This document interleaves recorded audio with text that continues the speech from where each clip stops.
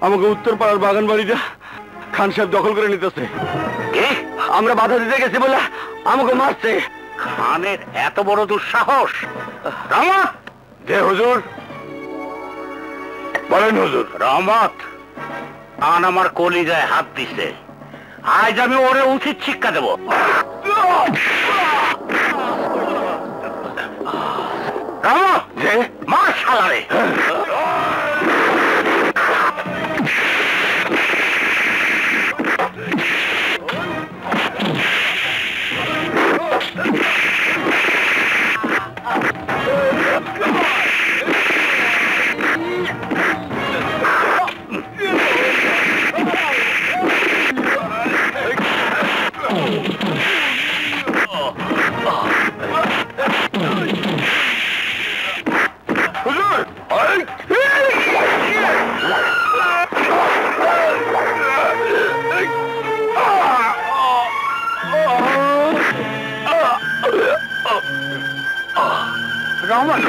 চল তোর হাসপাতালে নিয়ে যাই। রহমত না না আমার সময় শেষ। না রহমত তোর কিচ্ছু না। না। হুজুর। পরপারের ডাক আমার এসে গেছে। দুঃখ একটাই মরার আগে আমার ছেলে আর বউরে দেখে যেতে পারলাম না। ওদের দেখার আর কেউ রইল না হুজুর। আমি আছি রহমত আমি আছি। আমি থাকতে তোর পরিবারের কোনো কষ্ট হবে না। লা ইলাহা ইল্লাল্লাহু মুহাম্মাদুর রাসূলুল্লাহ। বাবা! কথা বলো বাবা। কথা তো বাবা কথা বলো বাবা। কি করল কি করল তুমি। আল্লাহ মানুষটারে তুমি কেন কেড়ে নিলা? কেন আমারে বেসাহারা করলা? কথা বলো বাবা কথা বলো। নয়নের মা লাশ এইভাবে বেশিক্ষণ রাখা ঠিক না। তাড়াতাড়ি দাফনের ব্যবস্থা করতে হবে। না না আমার স্বামীর আমি নিয়ে যেতে দেবো না। কথা কর নয়নের বাপ। শান্ত না। রহমত নাই। আজ থেকে আমি তোমাকে পাশে থাকব। তোমাকে দেখাশোনার দায়িত্ব আমার।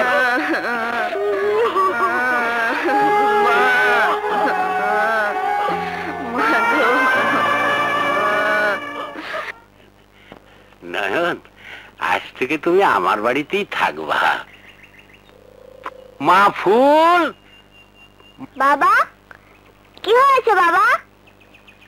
দেখ কারে নিয়ে এসেছি বাহ তুমি তো খুব সুন্দর। তুমিও তো খুব সুন্দর। ও কে বাবা? ও নয়ন তোর রহমত চাচা ছেলে নয়ন। মাফুল আজ থেকে ও তোরে স্কুলে আনা নেওয়া করবে। তাহলে আজ থেকে তুমি আমার বন্ধু। না মা বন্ধু না। ও তোর স্কুলের ব্যাগ আর পানির বোতল আনা নেওয়া করবে। করুক তাতে কি? আজ থেকে নয়ন আমার বন্ধু। চলো নয়ন আমার স্কুলের সময় হয়ে যাচ্ছে।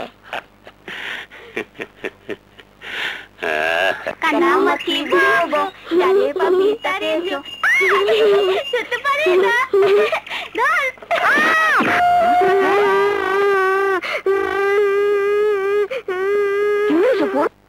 নয়ন আমাকে ধাক্কা দিয়েছে। তুই আমার ফুল রে মাসুস আমি তোর সারম না। নয়ন তুমি ওকে মারলে কেন? তোমারে মারছে দেখা। আমার গায়ে যে হাত দেবে তাকেই তুমি মারবে? হ্যাঁ মারুম। মাইরে নাক ফাটাইয়া দিমু। তুমি আর অন্য কারোর সাথে খেলবা না। আচ্ছা ঠিক আছে। আর কারোর সাথে খেলব না। আজ থেকে শুধু তোমার সাথেই খেলব। চলো। চলো।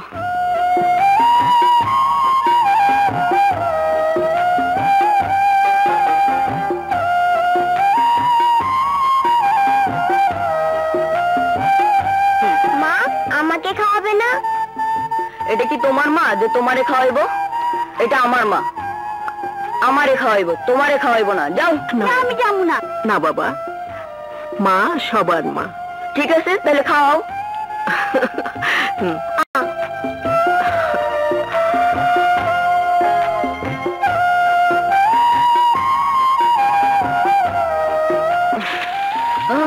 এখানে গাম্বুরা পায়খানা চল বাবা চলো চলো তাড়াতাড়ি আয়,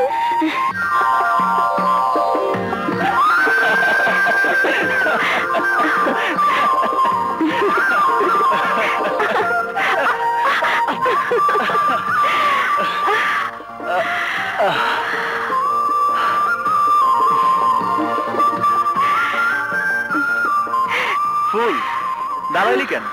চল বাড়িতে যাই। না নয়ন। তোর স্যার বাড়িতে যাইতে আমার মন চায় না। সারাক্ষণ তোর পাশে থাকতে ইচ্ছা করে। আমার দুই চোখ জুড়াইয়া শুধু তোরই দেখতে ইচ্ছা করে। না ফুল। অনেক আগেই তোর কলেজ ছুটি হয়েছে। তোরে নিয়ে বাড়িতে ফিরতে দেরি হইলে মাদব সাহেব রাগ করব। আচ্ছা নয়ন আমার বাপ কি বাঘ না ভাল্লুক? তুই আমার বাপকে এত ভয় পাস কেন? আমি ভয় পাই না। ছোটবেলায় আমার বাবা মারা যাওয়ার পর তোর বাপ আমারে তোগো বাড়িতে চাকরি দিছে। তোরে স্কুল কলেজ থেকে আনা নেওয়ার দায়িত্ব দিছে। আর তাই হ্যাঁ, কিন্তু আমার প্রতি তো তুই কোনো দায়িত্বই পালন করতেছিস না। কি কইলি? হ ঠিকই কইছি। তুই জানিস না ছোটবেলা থেকে তোর সাথে চলতে চলতে কখন যে তোর ভালোবেসে ফেলাইছি তা আমি নিজেও জানি না। আর তাই তো তোর এক মুহূর্তের লাইকা চোখের আড়াল করতে চাই না। ফুল হ নয়ন।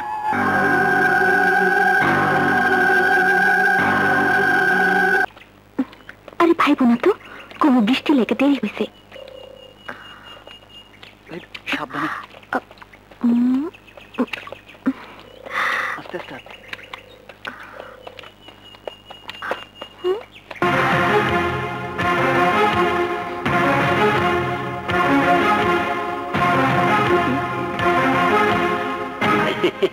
আয় মায়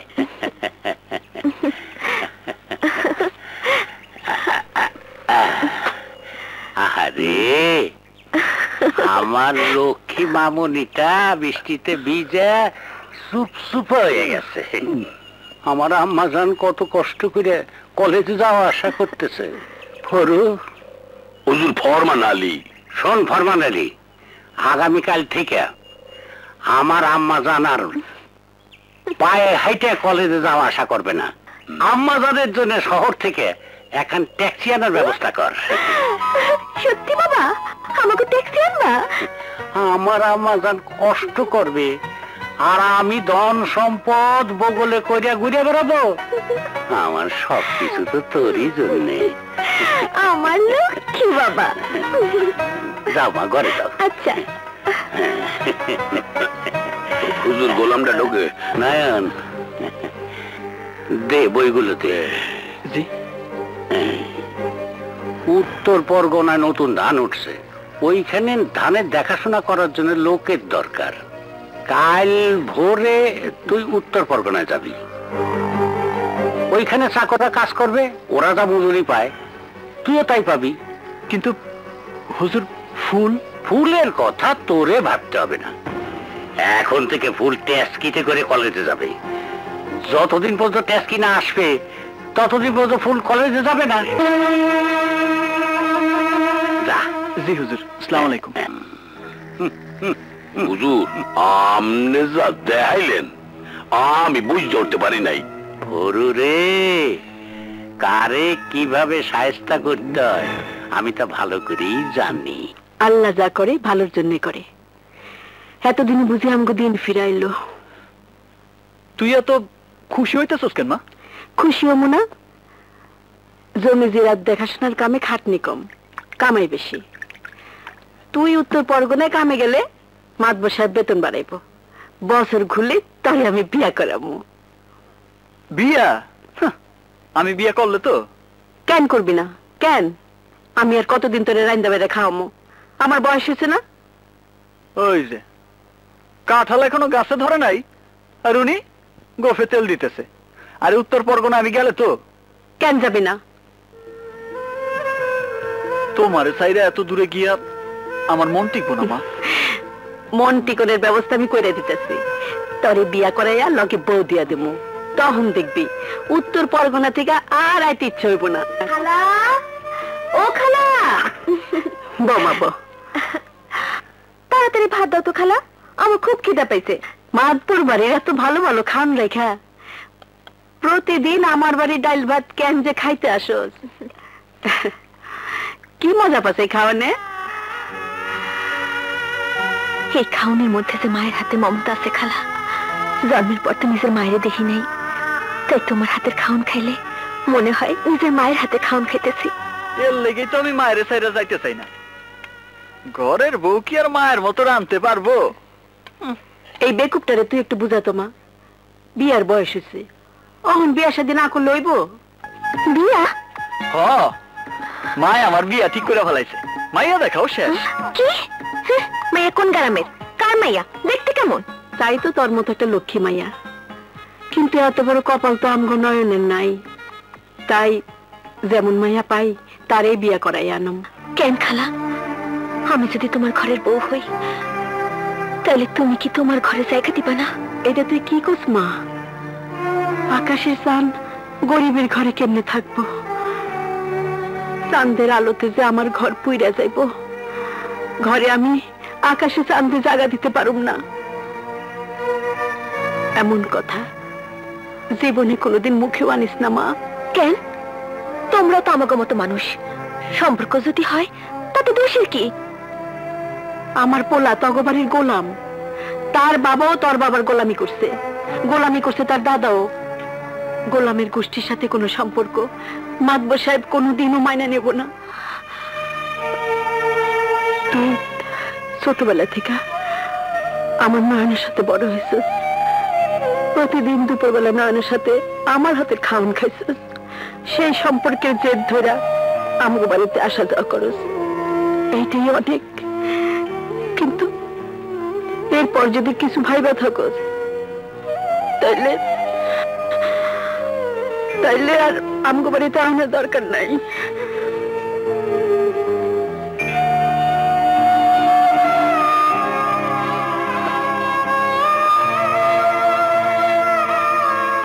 বলুক, আমি সারা অন্য কেউ তোর ঘরের বউ হলে আমি তারে গলা টিপা খুন করে ফেলামো।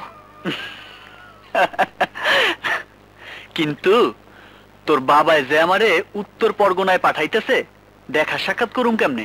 উত্তর পরগনা কেন? তরে উত্তর মেরুতে পাঠাইলো এই ফুল তর ছিল তরই থাকব।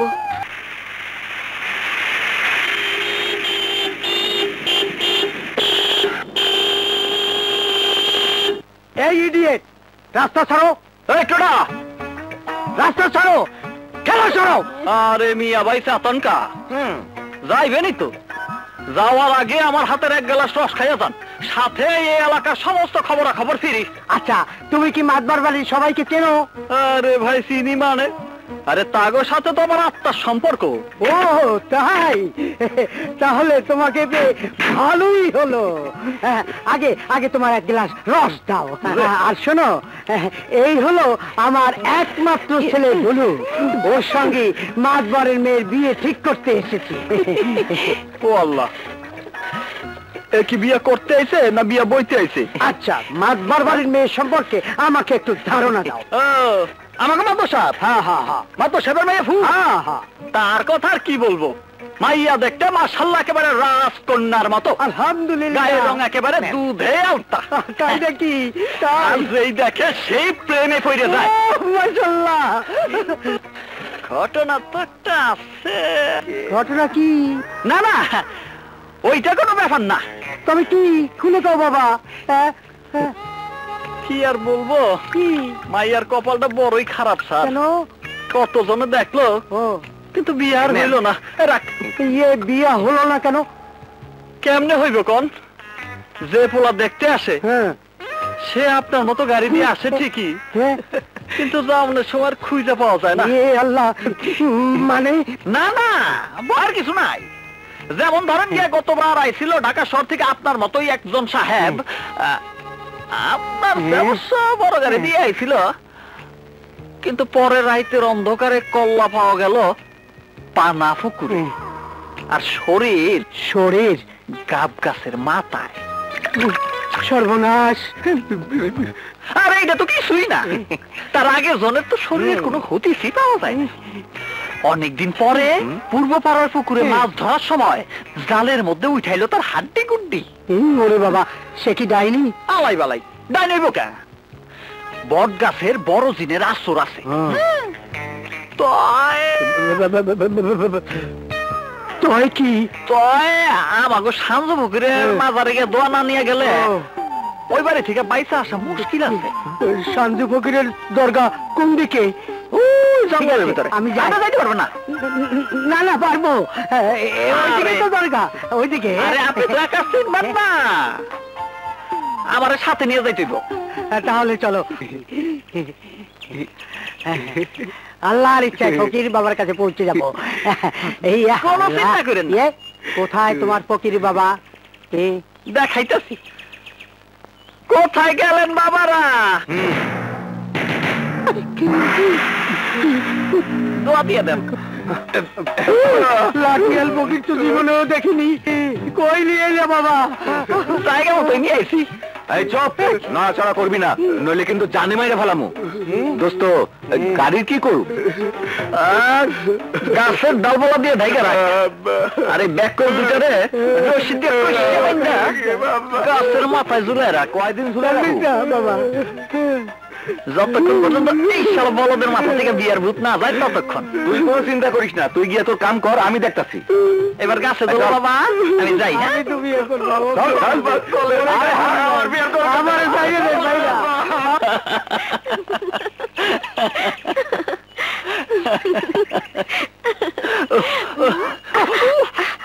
না রে কাজটা মনে হয় ভালো হয় নাই। ভালো হয় নাই মানে? আরে আমি যদি না আটকাইতাম তাহলে তো ওরা সোজা তোকে বাড়িতে চলে যাইত। তখন কি হইতো? কি হইতো? ওরা পছন্দ কইরা আমার বিয়ে করে নিয়ে যাইতো। কি? মনে হইতেছে অগলকে একেবারে দরদ উতলায় উঠছে। ঠিক আছে যা। ওই হিজড়াটারে বিয়া কর আমি গেলাম। আরে আরে তুই রাগ করে কই যাইতেছোস? আমি কি সত্যি সত্যি কইছি নাকি? তাইলে? দেখলাম আমার জন্য তোর ভালোবাসা কতটুকু। ফুল। দুনিয়াতে যদি কোনো ভালোবাসার পরীক্ষা হইতো তাহলে সেই পরীক্ষায় আমি ফার্স্ট হইতাম।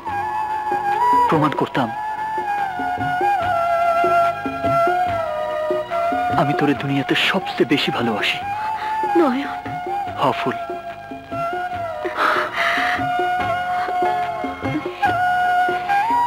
কি কইতেছেন চৌধুরী সাহেব?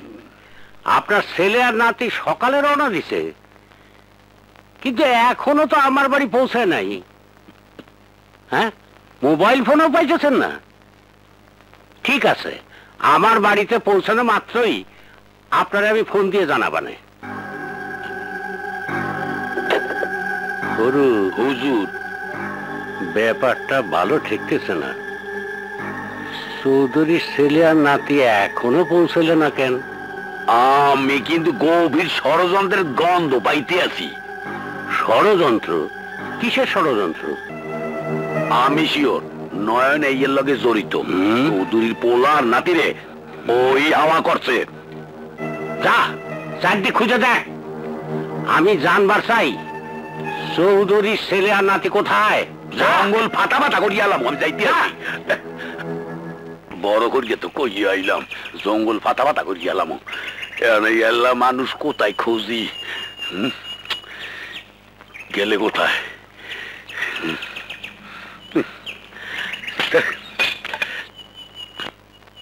এখন যে কি করি? পানি এলে কোন দিয়া মুদ্দে ওরে বাবা রে ইয়াতে বলাই দেই আরে এদেই আমাকে হবু জমাই রে বাইন্দে রাখছে আয় এখানে খারান খারান আইতেছে আইতেছে আই- এই আমনে গো এই অবস্থা কেডা করছে ওর নাম নয়ন হ্যাঁ। কি এক্ষুনি মাতবর সাহেবের কাছে চলেন আইজোরে জেলের ভাত খাওয়ামু? না রে কাকু এই বিয়ে হবে না। এই ছেলে তো বিয়ে করবি না। আর ওর বাপে ওই বিয়ে করবে না।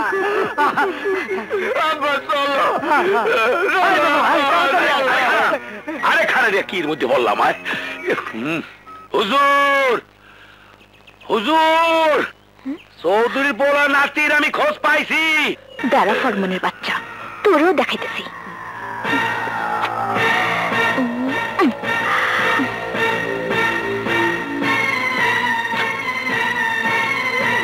চৌধুরীর পোলার নাতির খোঁজ পাইছি। কোথায় খোঁজ পাইছিস তুই? জঙ্গলের ভিতরে বাইন্দে থুইছে। কার এত বড় সাহস? এরা সেই বেয়াদব। ওই পোলার নাম ওই লগিয়া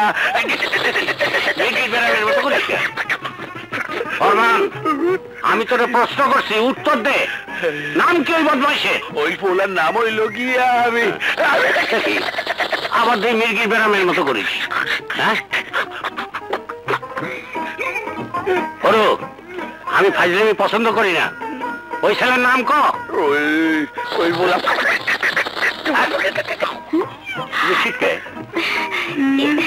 চাচা কোন চাচা? তার নাম কোন? আমি নাম জানবার চাইতেছি। কবি হরি এদিকে ওরে ধৈর্য হাসপাতালে নিয়ে যা। তোর সাহস তো কম না। ফরমান আলী রে একবারে সাইজ করে দিছস। আরে হ তুই জানিস না ফরমান বেটা অনেক বড় বদমাস সবসময় শুধু প্যাচ লাগাইতে থাকে। তাই ওরে কারেন্টের শার্ট লাগাইতেছি। খুব ভালো করছস। বেশি কথা কইলেও তোর মাথায় বুদ্ধি আছে। হুম।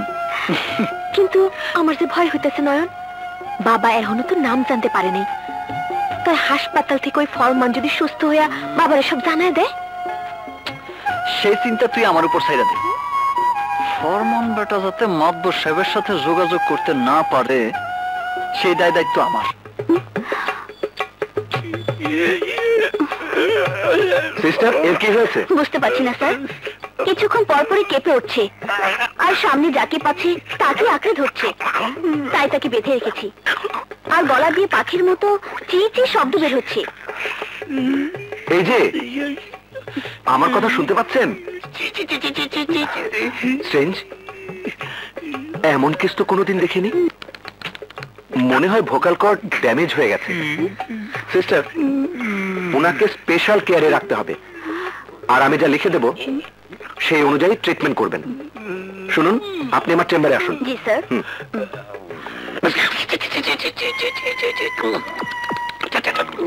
জি কিছু বলছেন কি আমি তো কিছুই বুঝতে পারছি না আপনার কথা আমি কিছুই বুঝতে পারছি না আপনি কি লেখাপড়া জানেন আমি কাগজ কলম নিয়ে আসছি আপনার কথা আপনি কাগজে লিখে দিবেন ঠিক আছে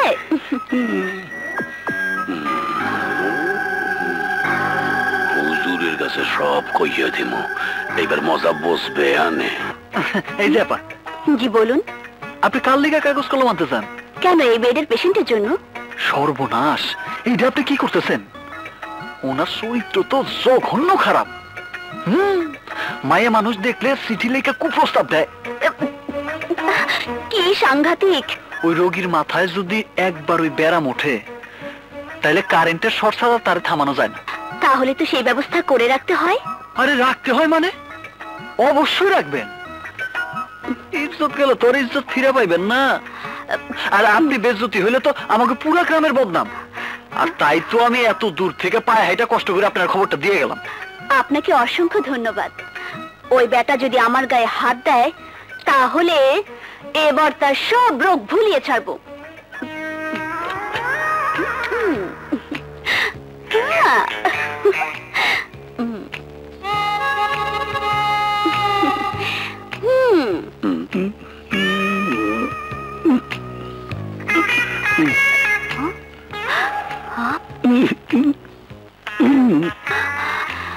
নয়ন ভাই তো ঠিকই বলেছে। আসলেই তো শালার চরিত্র খারাপ। এখন তার ওষুধ একটাই। হুঁ?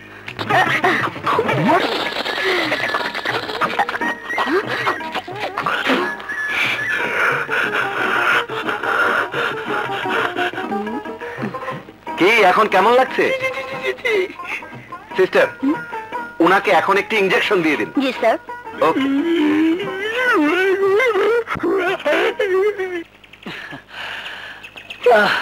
এ কি? এইভাবে হাঁপাতেছস কেন? আর এত দেরি করলি যে?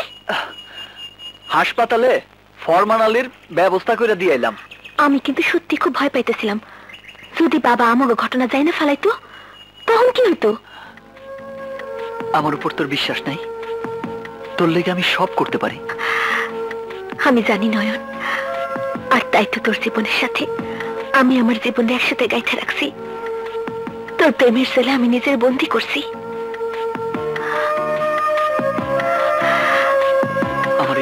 পাইতে শোন। এই বুকে শুধু তোর লেগে ভালোবাসা ছাড়া আর কিছুই নাই। যে পাতে খাবার খাস সেই পাতে ফুটা করিস। তোর কত বড় সাহস? আমার বাড়ির চাকর হইয়া আমার বাড়ির ইজ্জতের উপর হাত দিস। ইন্দুরের সাও ইজ্জতের বেড়া কাটতে আইছিলা। এইবার বসবা ঠেলাটা না বাবা ওর কোনো দোষ নেই। আমি নয়নরে ভালোবাসি। চাকরের জন্ম খালি। আমাগো মতো লোকের সেবা করার জন্য পায়ের জুতা পরিষ্কার করার জন্য ভালোবাসার জন্য না। চলে আয় বলছি। না বাবা না। নয়নরে চাইলে আমি যাব না। পারবা? হুজুর। ওরে নিয়ে যা। এইটা চাইছিলাম এদিকে এদিকে তুমি এদিকে নিয়ে আমার মেয়ের নাম ধরে ডাকলে তোরে আমি জিন্দা কবর দেব। মাতবর সাহেব আপনি ফুল রে এখান থেকে নিয়ে যেতে পারবেন। কিন্তু আমার মন থেকে ফুলের ভালোবাসা কোনোদিনই মুছে ফেলতে পারবেন না। তোর মুখে ফুলের ভালোবাসার কথা শোনার আগে আমি তোর জবান বন্ধ করে দিতে পারতাম। কিন্তু তোর বাপ আমার জীবন রক্ষা করছে বলে এখনও তোরে আমি জানে বাসায় রাখছি। তোরে আমি শেষবারের মতো সাবধান করে দিতেছি। ভবিষ্যতে আর কোনোদিন ফুলের সাথে মেশার চেষ্টা করবি না। আমার সে খারাপ। তোর জন্য আর কেউ হবে না। কথাটা মনে রাখিস? চল। তোমার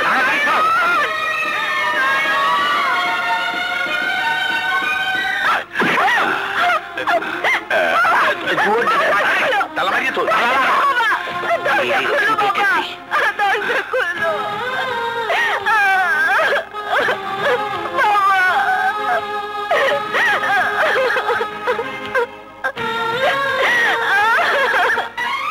কি কইতেছেন মাতবর সাহেব? আমার নয়ন। হ্যাঁ তোমার নয়ন। গোলামের বাচ্চা গোলাম পায়ের জুতা মাথার তাজ হইতে চায়। মাতবর বাড়ির জামাই হওয়ার স্বপ্ন দেখে। না না মাতবর সাহেব আপনি নিশ্চয় ভুল শুনছেন। আমার নয়ন এমন কাজ করতে পারে না। ও, তাই নাকি? তোমার পোলা দুধে দোয়া তুলসী পাতা? তাইলে বনে বাজারে পুকুর ঘাটে জঙ্গলে মাতবর সাহেবের মাইয়ারে নিয়া কি পুতি পাড়ায় এই থাক। শোনো নয়নের মা, নয়ন যে অন্যায় করছে, তার শাস্তি স্বরূপ নয়ন আমি জ্যান্ত কবর দেওয়ার পারতাম। কিন্তু নয়নের বাপ আমার জীবন বাঁচাইছিল বলেই তোমার ছেলের জীবন ভিক্ষে দিলাম। কিন্তু এখন থেকে তোমরা আর এই গ্রামে থাকতে পারবা না। আশেপাশে গ্রামেও না। এটা কি কোন মাতবর সাহেব এমন শাস্তি আপনি আম করে দিয়েন না। এই বাড়িতে আমি যখন প্রথম বউ হয়ে আইছি তখন নয়নের বাপের আমি কথা দিছিলাম। বউ হয়ে এই বাড়িতে আইছি লাশ হয়ে এই বাড়ি থেকে বাইরে হব। আপনি আমার স্বামীর বিটা ছাড়া করেন না। না এখন আমি আর তোমার কোনো কথাই শুনব না। আমার কথা যদি তোমরা না শোনো তাহলে আমার লোক দিয়া তোমাকে কার দরিয়ায় গ্রাম ছাড়া করাবো। কথাটা মনে রেখো কাল সকালে তোমার পোলারে নিয়ে এই গ্রাম ছেড়ে চলে যাবা। না? আমার জীবন থাকতে এই ভিটা বাড়ি ঠিকা আমাকে কেউ বাইর করতে পারব না। কি? তুই মাতবর চোখের দিক তাকাইয়ে কথা হইতে আসস? হক কইছি জুলুম আর অত্যাচার যখন গরিবের অস্তিত্বের উপরে হাত দেয় তখন নিজের অধিকার রক্ষার জন্য শুধু প্রতিবাদ না? প্রয়োজনে হাতে হাতিয়ারও তুলে নিতে হয়। তুই আমার স্নেহ মায়া দেখছিস। আমার রাগ দেখিস নাই? কিন্তু এখন দেখবি। এই ওরে মাইরে গ্রাম থেকে বাইর করে দে।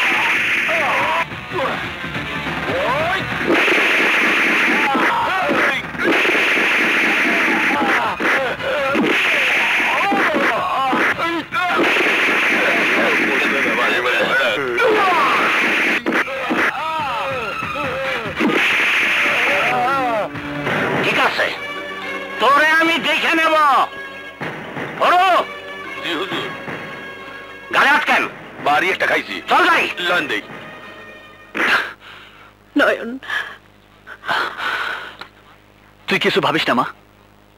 মাতবর আমাকে কিছুই করতে পারব না। এইটা আমার বাপ দাদার ভিটা। মাতবরের কোনো ক্ষমতা নাই আমাকে ভিটা সারা করে। কিন্তু নয়ন তুই জানোস না ছোটবেলায় তোর কঠিন অসুখ হয়েছিল। ডাক্তার কবিরাজ দেখাইতে গিয়া তোর বাবা আমাকে ওই ভিটা বাড়ি রহমত মেয়ের কাছে বন্ধক রাখছিল। সুদে আসলে অন অনেক টাকা হয়েছে। মা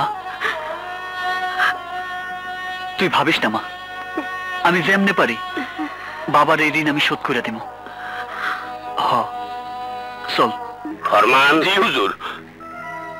আমি নয়নরে গ্রাম ছাড়া করতে না পারলে আমার মনের আগুন নেবে না।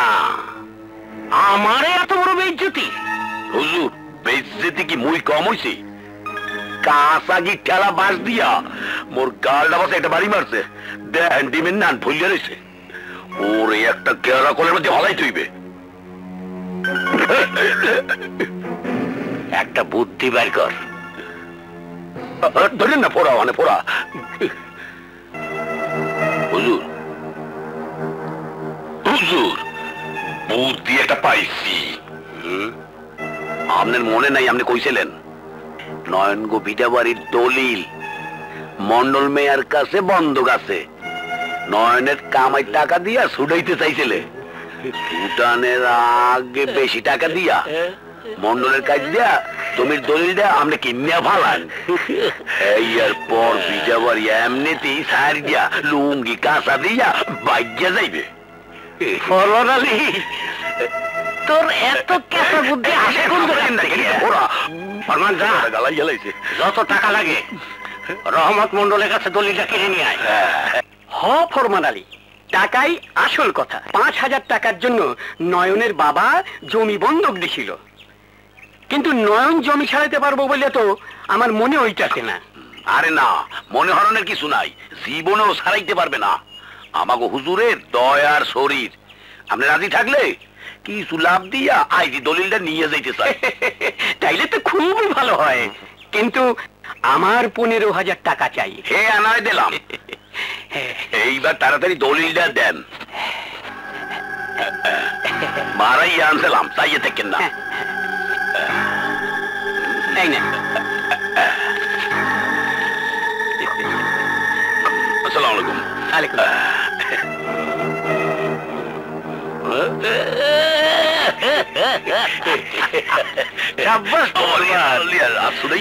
তুই একটা কামের কাম করতে।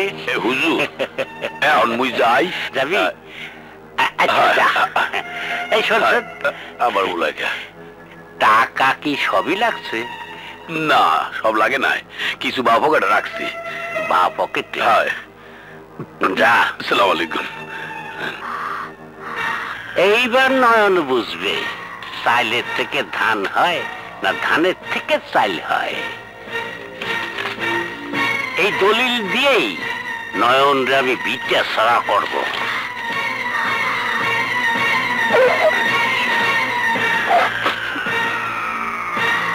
কি? আমাকে বন্ধকে দলিল? রহমত মিয়ার কাছ থেকে মাতবর কিনে নিছে? অনয়নের মা। মাতবর আমাকে কইছে নয়নের বাপ পাঁচ হাজার টাকার বিনিময়ে তোমাগো এই ভিটা বাড়ি বন্ধক রাখছিল রহমত মন্ডলের কাছে। এখন রহমত মন্ডল পঁচিশ হাজার টাকার বিনিময়ে সেই দলিল বিক্রি করে দিতে মাতবরের কাছে। সব বুঝতে পারছি। এইটা মাতবরের একটা চক্রান্ত। নয়নের মা এখন তোমাকে বাড়িটা সাইডে দিতে হইব। দলিল অনুযায়ী এখন এই বাড়ির মালিক মাতবর সাহেব। এখন তো আর কইতে পার কাল সূর্য উঠার আগে বাড়ি খালি করিয়া চলিয়া যা বা শ্বশুর হইয়া মাতবর সাহেবের হুকুম। হুম। নয়নের মা আমরা তাহলে এখন যাই। লান দেই লান লান লান লান হাডেন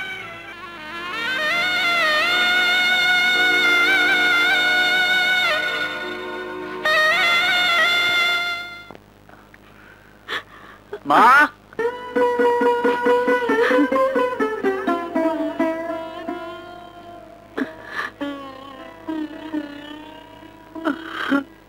কি হয়েছে মা কি হয়েছে কান্দুস কেন?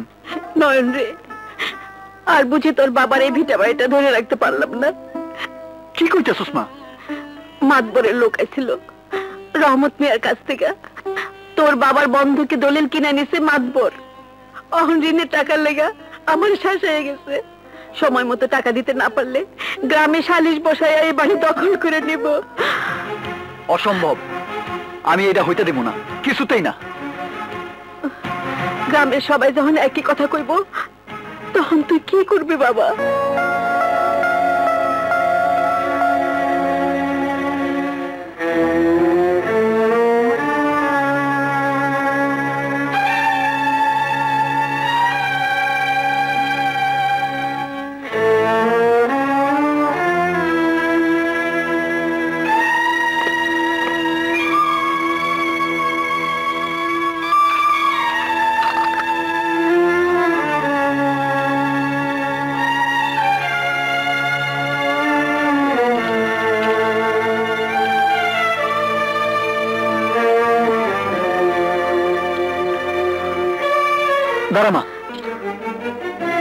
এই গলার নিয়ে তুই কই দিতেছস এই হাটটা মাতবরের কাছে বন্ধক দিয়া আমি তার কাছ থেকে এক বছরের সময় নেব।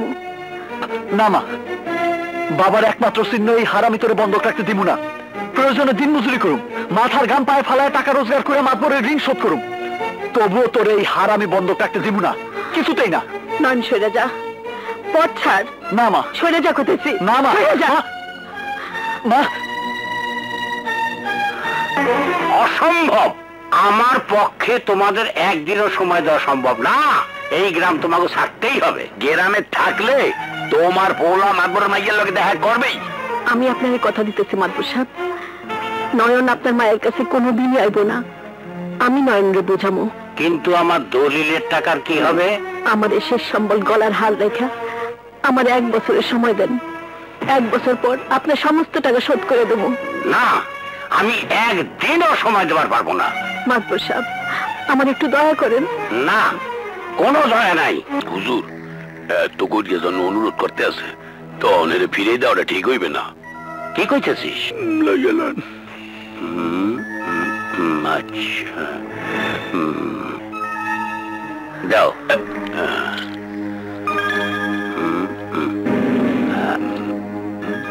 আমি তোমারে এক বছরের সময় দিলাম। অনেক মেহরবানি আপনার।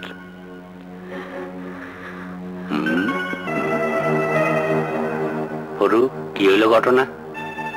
হুজুর নয়নের মায় যে হাড্ডা দিয়ে গেছে এটা তো আমি আর আমনে দেখছি। আর তোকে দেখে নাই? নয়নের মায়ের শেষ সম্বল হাড্ডাও আমনের কাছে আর দুইটা বাড়ি দলিলটাও আমনের কাছে। অন্যরা দুইটা বাড়ি না সাইডে যাইবে কোথায়?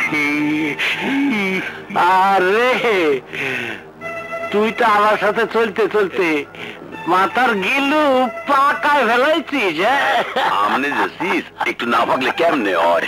বাবা নয়ন মাতবর আমারে এক বছরের সময় দিছে। মা আমার কথা তো আর শুনলি না?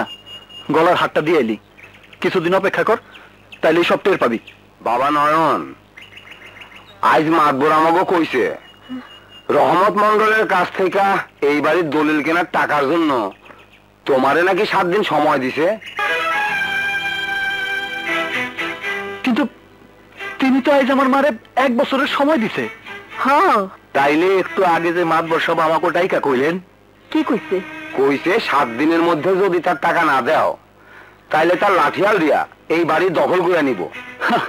শুনছস মা শুনছস? আমি কইছিলাম না হাতটা নিয়ে যাইস না। এখন? আল্লাহর দুনিয়াতে এমন মানুষও আছে। আছে মা আছে। আল্লাহর দুনিয়ায় এমন হারামিও আছে। শোনেন চাচা যতদিন আমার শরীরে এক বিন্দু রক্ত আছে ততদিন পর্যন্ত আমি আমার বাপের ভিটা ছাড়ুম না। দেখো বাবা নয়ন আমি বলি কি যদি টাকা দিবার না পারো তাইলে ভিটা বাড়িটা ছাইরা দাও। আমি জানি বাবা আজ পর্যন্ত ওকে বংশের সাথে ঝগড়া কইরা কেউ পাইরা ওঠে না মাতবর কইছে সাত দিন পর আমাকে নিয়া তোমাকে বাড়িতে আইব। কি? বাবা তাইলে আমরা এখন আসি। চলেন।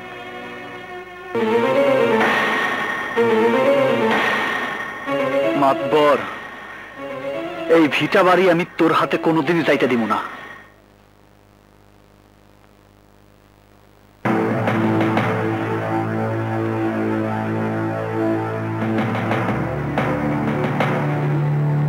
বাবা নয়ন তুমি ভালো করে জানো আমরা এনে কেন আইছি? এখন তোমার উত্তর আমরা সবাই জানবার চাই। কিন্তু এটা অন্যায় এটা অবিচার। আমার গায়ে এক ফোঁটা রক্ত থাকতে আমি আমার বাপের বিটা কাউরে দখল করে নিতে দিব না। দেখি কার কত শক্তি। দেখেন দেখছেন ওর ব্যবহার। যার চোদ্দ পুরুষ আমার বাড়ির গোলাম ছিল, তার এতটা তেজ আমি সহ্য করব না। ওরে বাড়ি সারিয়ে যাইতে কন। নাইলে বাড়ির ভিটে কি করে দখল নিতে হয়, তা আমি জানি। মাতবর সাহেব, আপনার সাথে আছে লাঠিয়াল আর আমার সাথে আছে আল্লাহ। আজ এখানে খুনে খুনে যাব এই এই এই। আয়, আয় কি আবি, আয়। বাবা না। নয়ন! মা, আমার সাথে। দা। আমার হাত নয়ন! আমি তোর মা। আমি তোর আদেশ করতেছি। ফালা! দা ফালা। ফালা ফালা। নয়ন ওনাকে সবার যখন একই কথা তখন আমগো আর কিছু কর নেই। না মা। তুই এই কথা না। না নয়ন। চল আমরা এই গ্রাম ছেড়ে চলে যাই। খোদার দুনিয়া অনেক বড়। নিশ্চয়ই খোদা কোথাও না কোথাও সেই মা বেটার ঠাই করে দেবেন। চল। ঠিক আছে মা চল। চল। খারান আপনারা দেন না। কুল তুই এখানে কি চাস? আমি তোমার মাইয়া হইয়া এখানে আসিনি বাবা। আইসি গ্যারামের একজন হইয়া। চলে না। যেই দলিলের জোরে আপনারা তাগো গ্রাম ছাড়া করতে চান সেই দলিলকে আপনারা কি পড়ে দেখছেন? হ্যাঁ না তো তা তো দেখি নাই। তাইলে কোনো প্রমাণ না দেখা কোন আইনে তাগো আপনার গ্রাম থেকে বাইর করে দিতেছেন? মাতবর সাহেব সবসময় এইভাবে দলিল বেচা কেনা কইরা থাকেন তো তাই আর দেখা হয় নাই। মাতবর সাহেব দলিলটা বাই করে দেখান তো। এক খুঁটি দেখাইতেছি। ফরমান! দলিল বাই কর। ও আবার কইতে হয়। এই দেখাইতেছি রায়ন চশমা করিয়া রাখছি। গেল। কি? এই দলিলটা তো এই নিয়ে আসলে।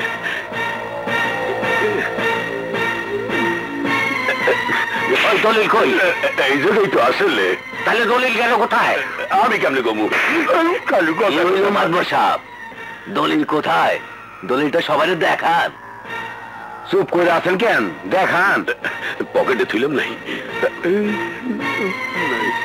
ইয়ে মানে দলিলটা তো এইখানেই ছিল।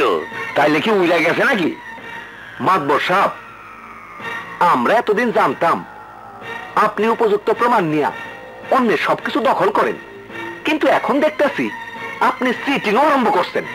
এইভাবে যদি আমাকে ডাইকা আর কোনোদিন হয়রানি করেন তাইলে তার পরিণাম খুব খারাপ হইব ইয়ে বাবা নয়ন আমগরে ক্ষমা কইরা দিও নয়নের মা আমগরে মাফ কইরা দিয়েন আপনারা ভিতরে যান এই আপনারা সবাই চলেন চলেন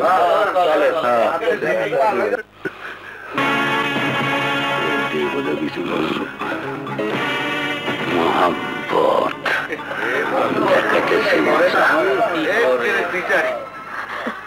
মা, এইটা তুই কি করলি ফুল? তুই বাড়ি ফিরে গেলি তো? তোর বাবা তো রাস্তা রাখব না। আমি সব সইতে পারো মা। কিন্তু তোমার নিয়ে নয়ন রাস্তায় রাস্তায় ঘুরে বেড়াবো, তা আমি সইতে পারুম না।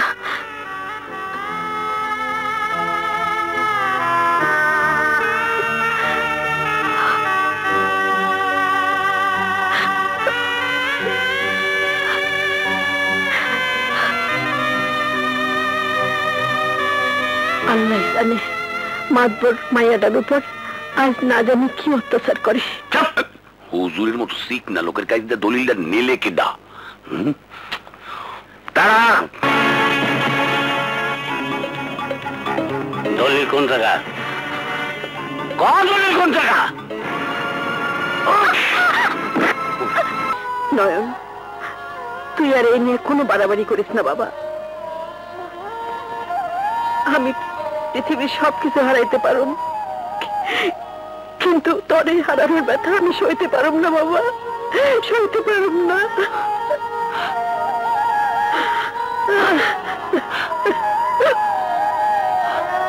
নয়ন, আমি মাদ্রা সাহেবের কথা দিচ্ছি জীবন দেওয়া হলো, আমি সেই কথা রাখুন বাবা।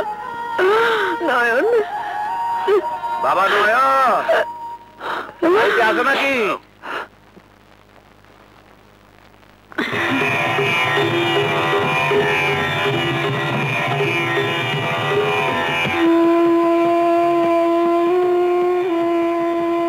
নয়ন মাতবর সাহেব তোমার মায়ের কথা মতন নতুন দলিল তৈরি করে আনছেন। তোমার মায়ের ঠিক সেটাই না দাও। হ্যাঁ, নাও।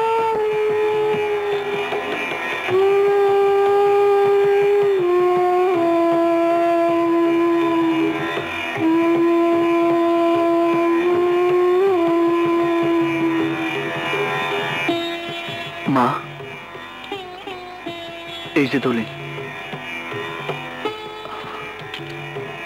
ল। টিপসই দিয়ে দে।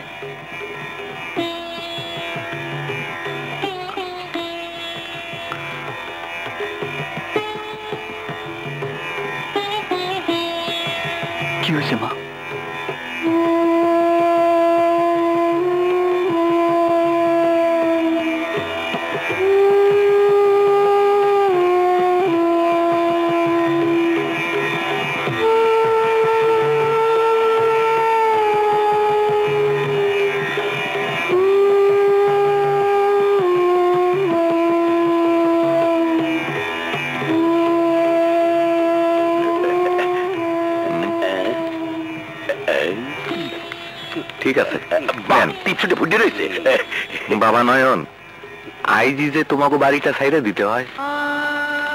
ঠিক আছে। আমরা আইজি চলে যাব। তাইলে আমরা যাই। চলেন মাদুর সাহেব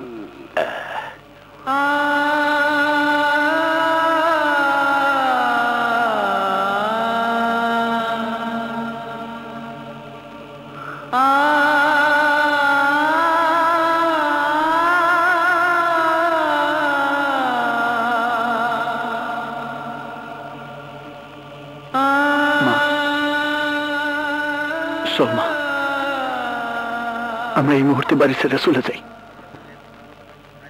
আল্লাহর দুনিয়ায় কোথাও না কোথাও আমাকে ঠাই হইবই। চল মা।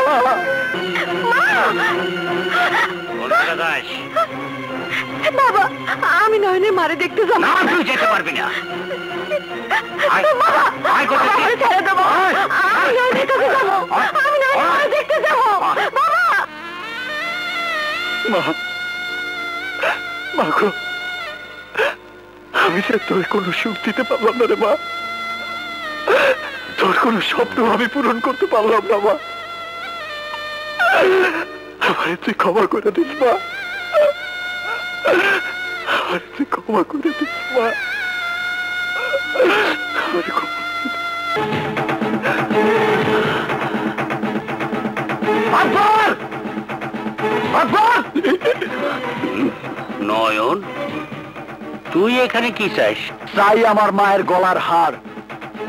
আমার মায়ের গলার হার আমারে ফেরত দে মাতবর হার? তোর মার হার আমি পাবো কোন জায়গা হয় হয়। আমি তো কোনো হার চুপ! মিথ্যাবাদী! আমার মায়ের গলার হার আমারে ফেরত দে মাতবর আমার মায়ের গলার হার আমারে ফেরত দে এই তোরা কেনা কোথায় আসো সামনে বাসা।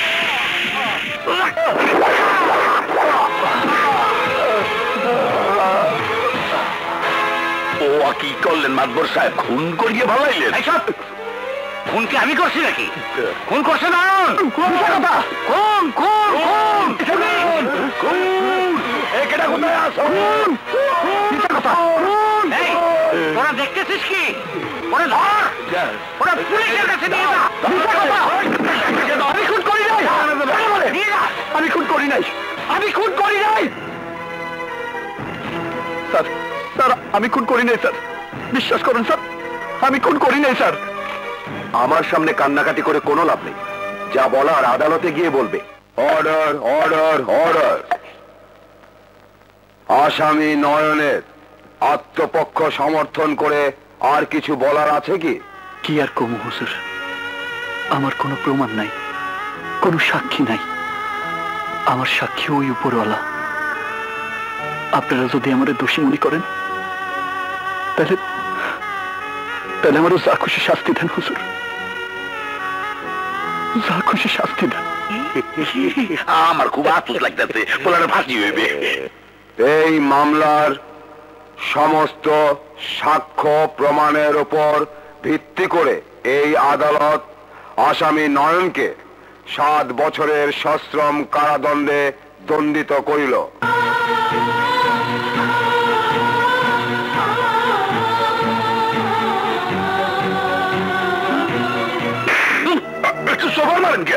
হারাম জাদা কি উকিল ঠিক করছিস? মোর কি দোষ? উকিল তো বড়টাই দোষলাম এর পরেও তো নয়নের ফাঁসির ব্যবস্থা করতে পারলাম না। আইন হয়তো নয়নের ফাঁসি দেবার পারে নাই কিন্তু আমার আদালত নয়নের ঠিকই ফাঁসি দিছে। আমি ঠিক বুঝলাম না। আদালতের এই সাজার কথা কাল পত্রিকায় প্রকাশ হোক আর না হোক আমাগো এলাকায় যে পত্রিকা যায় সেই পত্রিকায় নয়নের ফাঁসির খবরই প্রকাশ হবে। আমার এলাকার লোক জানবে। মাধবরের শত্রু শেষ হইছে আর ফুল জানবে নয়দের ফাঁসি হয়ে গেছে। না আমি বিশ্বাস করি না। আমার নয়নে ফাঁসি হতে পারে না। মানে আমি জানতাম, তুই বিশ্বাস করবি না। তাই তো প্রমাণ সাথে করে নিয়ে আইছি। এই দেখ, পত্রিকায় কি লেখছে। আমার নয়নে ফাঁসি হতে পারে না। আমার মন করতেছে আমার নয়ন বাইসে আছে বাবা। আমার নয়ন বাইসে আছে। আমার নয়ন বাইসে আছে বাবা। নয়ন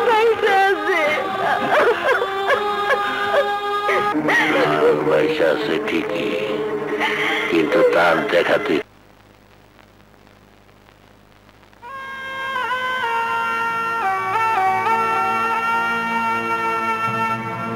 এক জেল থেকে আর এক জেলে ঘুরতেছি দুই বছর ধরে ফুল না জানি কি অবস্থায় আছে। কতদিন ধরে ফুলরে দেখি না। ফুল তোর লেগে সারাক্ষণ আমার পরাণ কান্দে। আমার লেগে তোর কি পরাণ কান্দে না? এই, তোমরা সবাই ওঠো, খেতে এসো।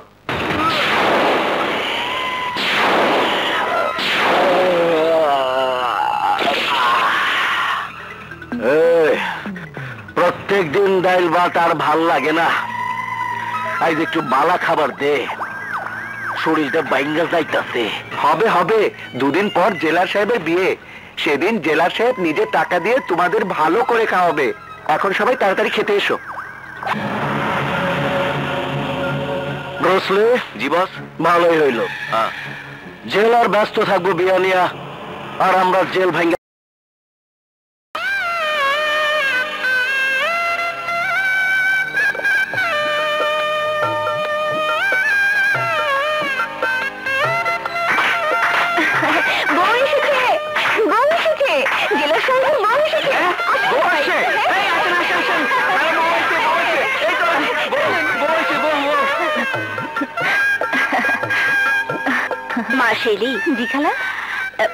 নববধূর সামনে বিধবা মেয়েদের যেতে নেই।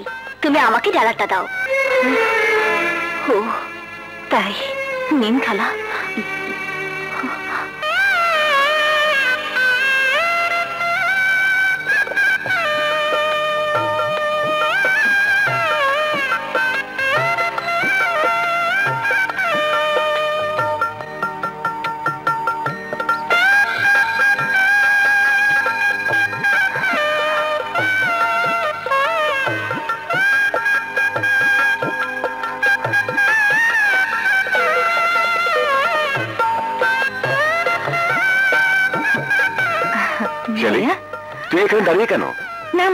আমি এদিকে দেখছিলাম তো। তুমি ভাবির কাছে যাও আমি আসছি। ইয়ে, হ্যাঁ? ভাইয়া ঘণ্টা। নিশ্চয় কেউ পালাচ্ছে। ও শিট আয় বুঝলি তোরা সবাই ওইদিকে যা। আমি চিল্লার লগে বুঝাপড়া করে দিতেছি বেটা আমার আয় আয়।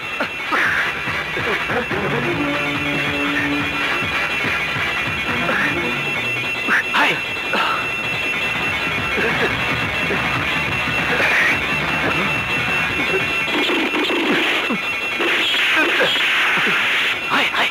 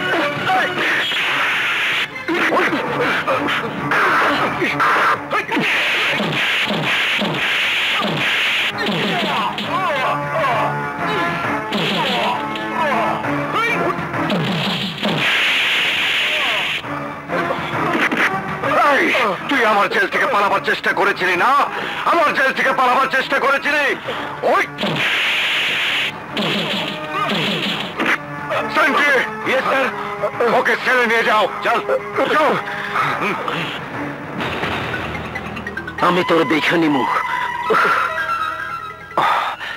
সেন্ট্রি ইয়েস স্যার এটা নাও। ওকে আমার রূপে নিয়ে এসো। এই চলো।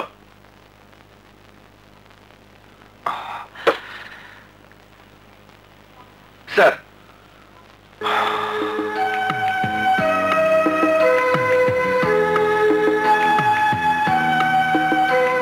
আর শুধু তুমি আমার জীবন রক্ষা করনি রক্ষা করেছে আমার নতুন বিবাহিতা স্ত্রীর জীবন। নইলে বাসর ঘরেই সে বিধবা হয়ে যেত। শোনো কয়দি হলেও আজ থেকে তুমি আমার বন্ধু। সব আপনার মেহরবানি স্যার। সেন্ট্রি স্যার ওকে নিয়ে যাও। আর শোনো ওকে মিশার সেলে নয় ওকে রাখবে তিন নম্বর সেলে ওকে স্যার যাও বন্ধু। আসি চলো। আসসালামু আলাইকুম। ওয়ালাইকুম সালাম।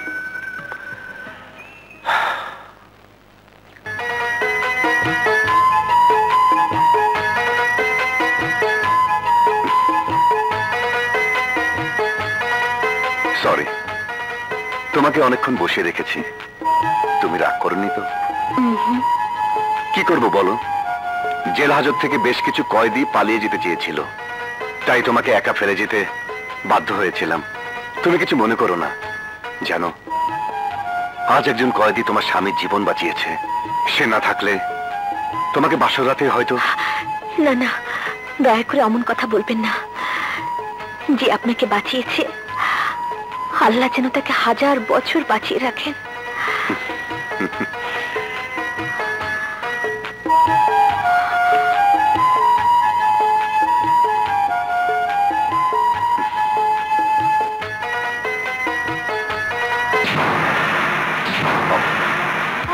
আল্লাহ, তোমার অশেষ মেহেরবানিতে আমি এই বাড়িতে রাজুর স্ত্রী হয়ে এসেছি।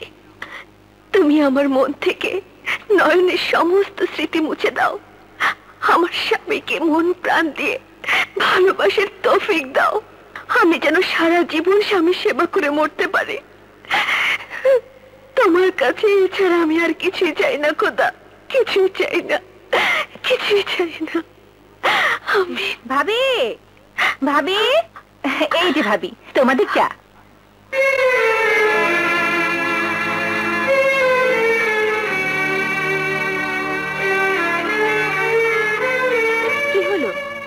এভাবে অবাক হয়ে কি দেখছ? ইয়ে না না কিছু না। আরে শেলি চা এনেছিস? দে চা দে। তুমি ভাবিকে নিয়ে চা খাও আমি বাজার করতে পাঠিয়ে দিচ্ছি। আচ্ছা, ঠিক আছে। চা খাওয়া শেষ হলে আমি এসে নিয়ে যাব। আচ্ছা। আপনার বোনের পরনে বিধবার শাড়ি কেন? সে কি? তুমি জানো না? না তো। শেলির ফুলের মতো সুন্দর জীবন থেকে সুখের পাপড়িগুলো অকালে ঝরে গেছে। হানিমুনে গিয়েই একটা দুর্ঘটনায় মারা গেছে ওর স্বামী। ওইসব কথা নাই বা শুনলে। নাও এক কাপ চা দাও। সে কি? গোসল না করে চা খাবেন? গোসলে প্রসঙ্গ আসছে কেন? বেডটি বেডে বসে তো খান নিয়ম হ্যাঁ? একটা কথা বললে কি রাগ করবেন? হুম, একটা? একটা কথা কেন? হাজারটা কথা বললে আমি রাগ করব না। বলো। আসলে ফ্রেশ না হয়ে চা খাওয়া উচিত নয়। বেশ স্ত্রী আদেশ। ওকে আজ থেকে বেডটি বন্ধ। নাও তুমি চা বানাও। আমি ফ্রেশ হয়ে আসছি। ইয়প, আরে করে কি? আরে আরে আরে এত চিনি দিচ্ছ কেন? বারে চিনি না দিলে খাবেন কি করে? মিষ্টি হাতে বানানো চাই মিষ্টি না দিলে চলবে। চলে আসবে তো। আরে আসবে না। নতুন নতুন যারা বিয়ে করে তাদের ঘরে হুটহাট করে যে কেউ আসে না। আসলে সারাদি আসবে। ছাড়ুন। চা ঠান্ডা হয়ে যাচ্ছে। ছাড়বো। ছাড়বো ছাড়বো। আগে আমাকে তুমি বলে দেখো তারপর ছাড়বো। না না আমি পারব না। তাহলে আমিও ছাড়তে পারব না? আচ্ছা বাবা আচ্ছা। এখন ছাড়ো তো। এই তো লক্ষ্মী বউ আমার। নাও চা বানাও। আমি চট করে ফ্রেশ হয়ে আসি ওকে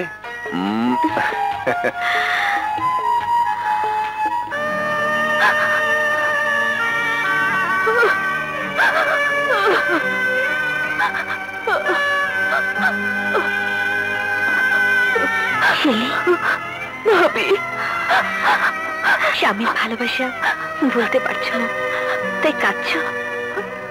ভাবি, ভালোবাসার মানুষ কখনো কাছে থাকে, আবার কখনো দূরে চলে যায়। কিন্তু ভালোবাসা কখনো ভোলা যায় না, কখনো ভোলা যায় না। তুমি ঠিকই বলেছ, ভালোবাসা কখনো ভোলা যায় না। তো আমাকে ভুলতেই হবে। নয়নের ভালোবাসা আমাকে ভুলতেই হবে।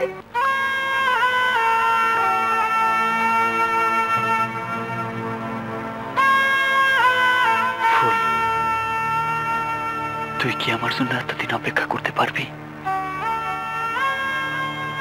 না না, তুই কেন আমার জন্য তোর জীবনটা নষ্ট করবি? তুই কারও ঘরের বউ হইয়া আমার কথা ভুলে যা তুই সুখী হ ফুল। আমি না হয়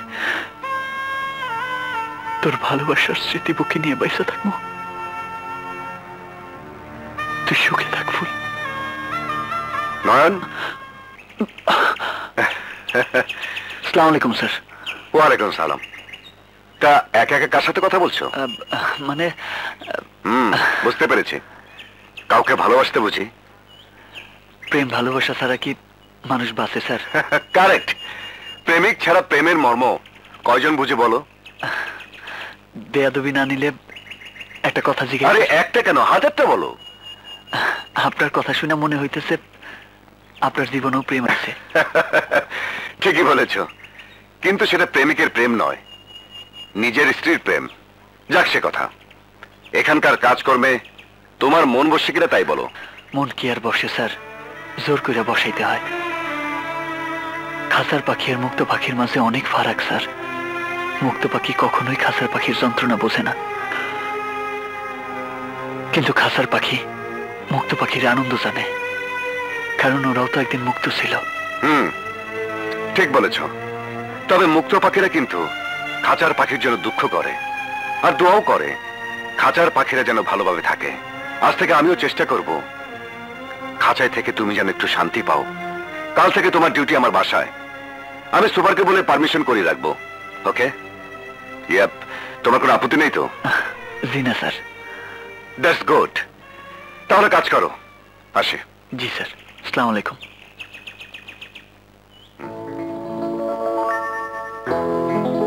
বিউটিফুল। খুব সুন্দর। নিয়ে গেলাম। যত্ন করে রেখে দেব।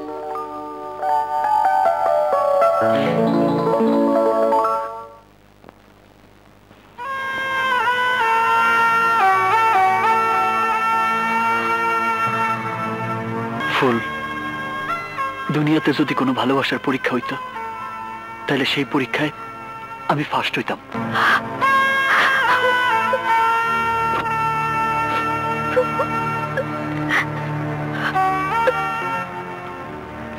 কিরে, আমার কথায় রাগ করছস? রাগলে কিন্তু তোরে খুব সুন্দর লাগে। আমি জানি নয়ন, আর তাই তো তোর জীবনের সাথে আমি আমার জীবনে একসাথে গাইতে রাখছি। তোর প্রেমের ছেলে আমি নিজের বন্দি করছি। আমার এই বুকে কান পাইতে শোন। এই বুকে শুধু তোর লেগে ভালোবাসা ছাড়া আর কিছুই নাই। কেন আমি ওর কথা ভুলতে পারছি না? কেন প্রতি রাতে ওর স্মৃতি আমাকে যন্ত্রণা দেয়? আমার মন কেন বারবার আমার নয়নের জন্য কেঁদে ওঠে? কেন? Yep. এ কি ফুল। তুমি কাঁদছো? ও বুঝেছি। কি? নিশ্চয়ই তোমার বাড়ির কথা মনে পড়েছে। কেদার লক্ষ্মীটি? কথা দিচ্ছি নেক্সট ছুটি পেলেই তোমাকে নিয়ে গায়ের বাড়িতে ঘুরতে যাব। ওকে? এবার শুয়ে পড়ো। অনেক রাত হয়েছে। যশো হুম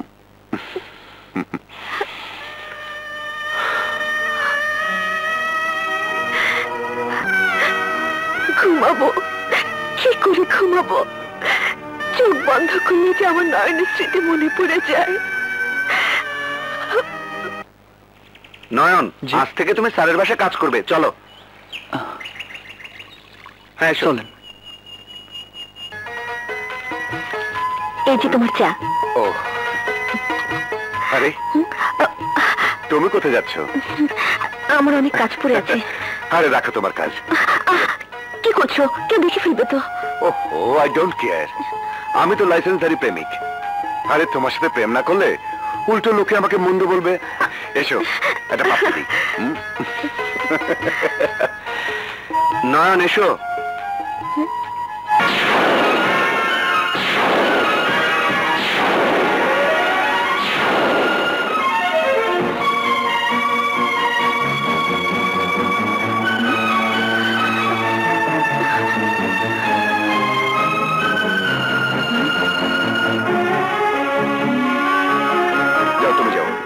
ইয়েস স্যার ইয়াপ চলো তোমাকে আমার স্ত্রীর সঙ্গে পরিচয় করে দিই।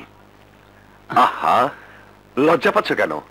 এখানে তার আদেশে তোমাকে সব কাজ করতে হবে। চলো চলো চলো। আমি কাকে দেখলাম? কি করে সম্ভব?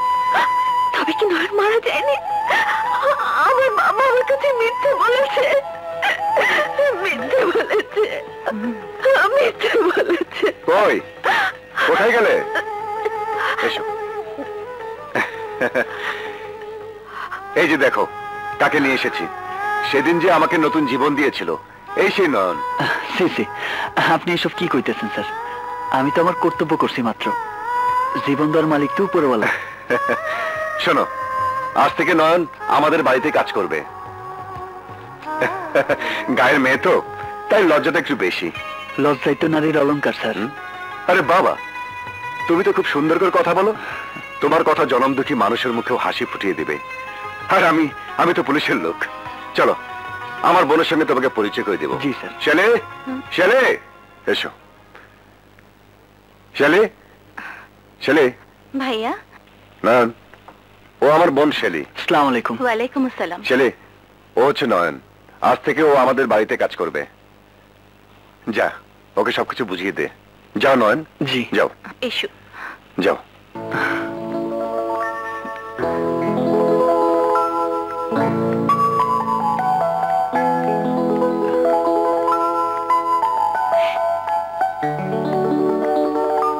এসো।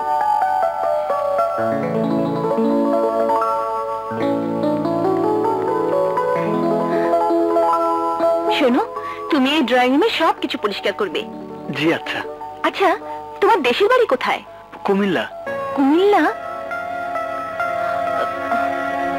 কুমিল্লায় কোথায়? কুমিল্লা শহর থেকে পঁচিশ মাইল দূরে শিমুলতলি গ্রাম। আচ্ছা তুমি কাজ করো পাশেই কাজ করার সব কিছু আছে। আমি আসছি। জি। হে খোদা তুমি আমাকে কোন পরীক্ষায় ফেলেছো? আমি জানি না। তুমি আমাকে বাঁচাও খোদা তুমি আমাকে বাঁচাও। আমাকে বাঁচাও। ভাবি? এই যে ভাবি। কি হলো? এখনও মন খারাপ করে দাঁড়িয়ে আছো কেন? খুবই না তো মনিরার দোষ কি? ঘরের ভিতর বন্দি হয়ে থাকলে মন কি সবসময় ভালো থাকে? অনেকদিন কোথাও বেড়াতে যাই না। ভাবছি এবার তোমাদের গ্রামের বাড়িতে বেড়াতে যাব। কি নিয়ে যাবে না? কেন নিয়ে যাব না? নিশ্চয়ই নিয়ে যাব। কবে নিয়ে যাবে? তোমার ভাইয়া যেদিন বলবে? হো আজই আমি ভাইয়াকে বলব। সবাইকে নিয়ে বেড়াতে যাবার একটা আয়োজন করতে। আচ্ছা ভাবি তোমাদের গ্রামের নামটা যেন কি শিমুলতলি ও যাই আমাদের নতুন কদিটাকে সব বলে আসি কি বলবে ঘরের কাজকর্মের কথা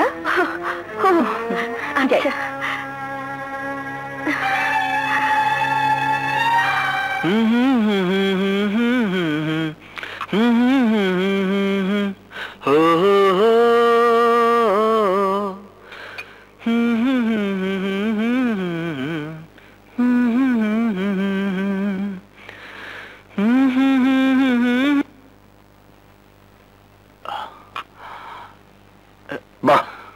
ফ্যান্টাস্টিক আরে তোমার গানের সুরটা তো খুব সুন্দর। থামলে কেন? আরে গাও না। এটা কান্না স্যার। এটা আমার জীবনের সুর। যে সুর সারাক্ষণ আমার হৃদয়ে বাসে তাই মাঝে মাঝে গুনগুন করে গাই। তোমার এই গুনগুন গানের সুরে আমার হৃদয়ের স্পন্দন কেঁপে উঠেছে। শোনাও তোমার গান। স্যার। আরে গাও না।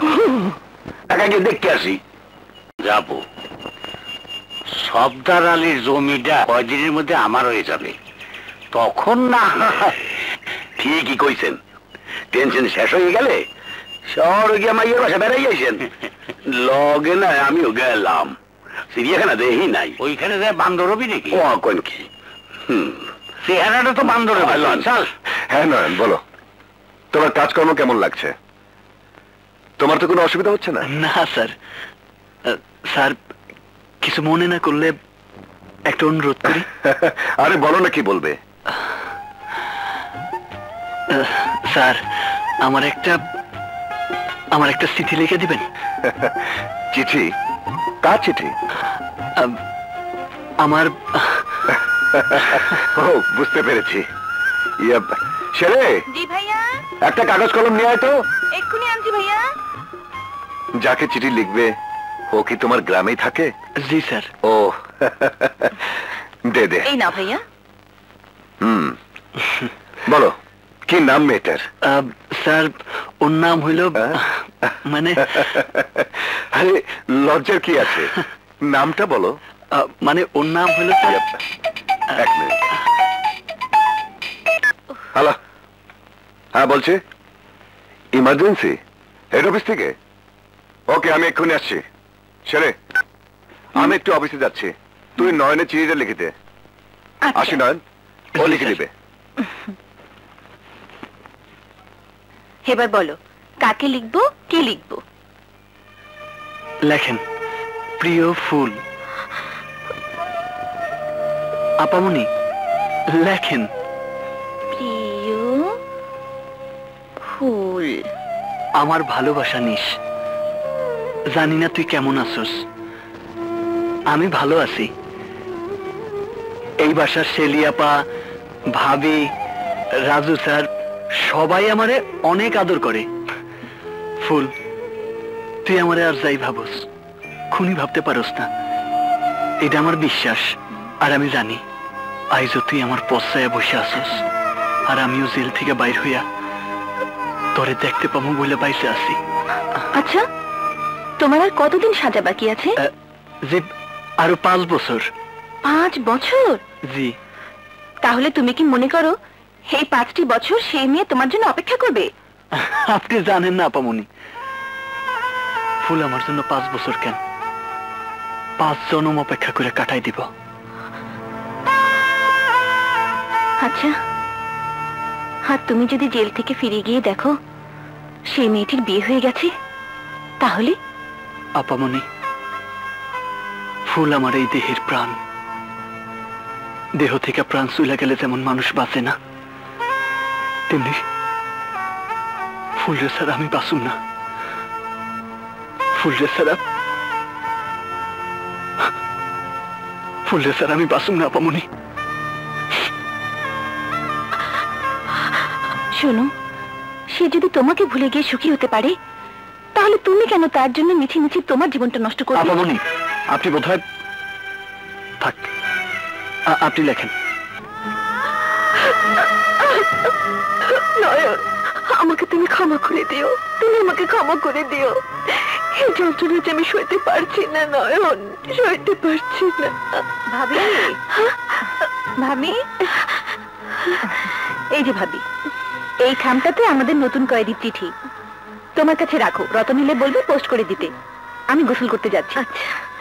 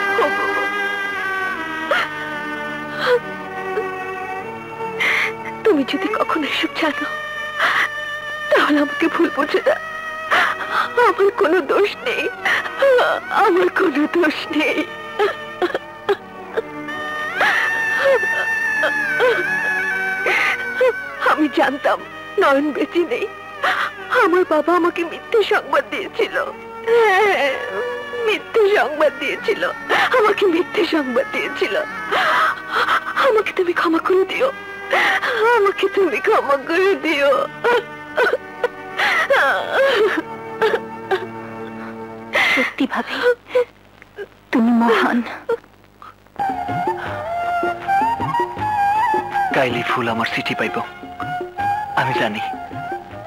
আমার চিঠি পাওয়ার পর ফুল আমারে দেখতে সুইটা চুলাইব কতদিন পর ফুল রে দেখব আমার যে কি আনন্দ লাগতেছে। নয়ন আজ তোরে খুশি খুশি লাগতেছে। ব্যাপারটা কি ব্যাপার? আরে আরে মন খারাপ কেন? তুমি কোনো চিন্তা করো না, ফুল। অফিসের কাজে দুদিনের জন্য শহরে যাচ্ছি।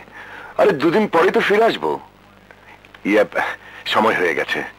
আমাকে এখন যেতে হবে। যাবার সময় তোমার চাঁদ মুখের একটু হাসি। আমার নসিবে হবে কি? বাস বাস বাস বাস বাস বাস। আপাতত এই যথেষ্ট। তোমার মুখের হাসি এই দুদিন আমার সঙ্গী হয়ে থাকবে। আসি। ইয়ে কেউ তো নেই। যাবার সময় একটা কিছু হবে নাকি? আচ্ছা ঠিক আছে ঠিক আছে। ওকে বাই বাই হুম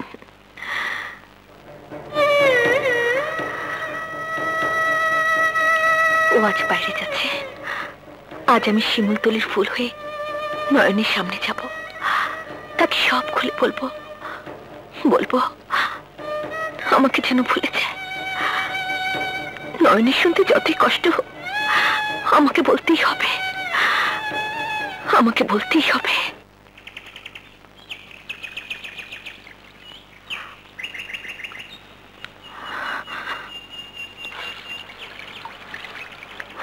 নয়ন?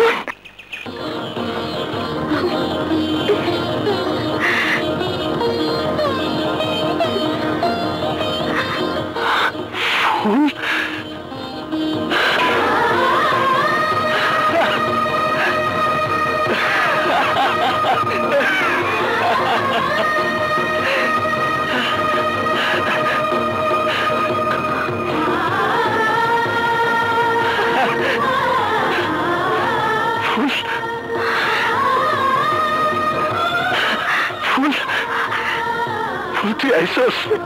নয়ন তোর একটা কথা কইতেছি ক? কইছিলাম আমার চিঠি পাই সে সুইটে চলে ও বাবা খুব ভালো করেছে। তা আমার সামনে কেন? ইয়ে গ্রামের মাইয়া তো তাই লজ্জা পাইতেছে স্যার। আরে গ্রামের মেয়ে হোক আর যেখানকার মেয়ে হোক সে তোমার হবু বোধ তাকে কিন্তু আমি একবার দেখব আচ্ছা, স্যার ইয়ে ভাইয়া ভাবি উনাকে উপরে নিয়ে যেতে বলেছেন। ও তাই? কে? খুব খুশি খুশি লাগছে? জি স্যার। দাঁড়াও আমি কি দেখছি। তোমার হবু বধুর আদর যত্ন আমার বউ ঠিক মতো করছে কিনা হ্যাঁ? ওকে?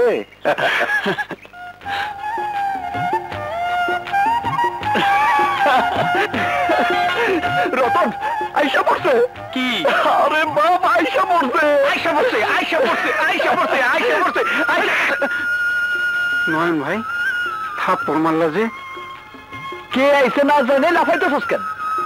ও, তাই তো, কি জানিয়েছি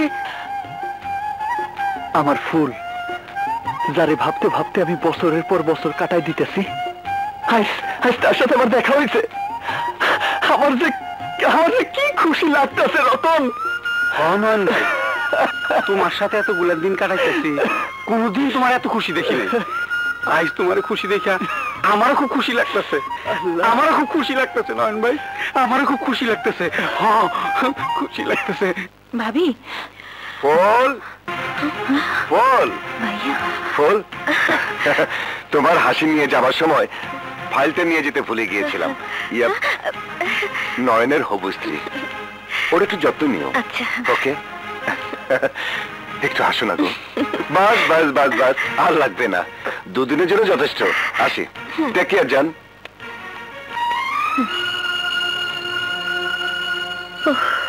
শেলি বলো কেন তুমি আমাদের শেষ বোঝাপড়া হতে দিলে না? বলো। ভাবি আমি তোমাকে কাছ থেকে দেখেছি। তোমাকে জেনেছি। তুমি মন প্রাণ সব উজাড় করে স্বামীর সেবায় জীবনের বাকি দিনগুলো কাটাতে চাচ্ছ। আমি মেয়ে আমারও স্বামী ছিল। দুনিয়ার সমস্ত মেয়ে চায়। একটা ফুটন্ত ফুল হয়ে সেই ফুলের সুবাসে স্বামীর সংসারটাকে সুন্দর একটা বাগান বানিয়ে রাখতে। কিন্তু আমি তা পারিনি ভাবি। আমি তা পারিনি। আর তোমাদের সুখের সংসারে যাতে কোনো অশান্তি না হয় তাই আমি শেষ বোঝাপড়াটা করতে দেইনি ভাবি। আমার বিয়ের পর আমরা যখন হানিমুনে হ্যাঁ ওই যে দেখো কি সুন্দর পাখি। ও মা, মালখা এই যাও ওই যে দেখেন আসল মুরগি আইতাছে।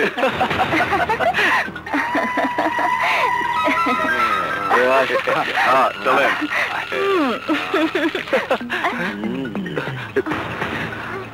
এত সুন্দর ফুলের গন্ধ তুমি একা একা নিবা তা তো হয় না বন্ধু। আমগরে একটু দাও।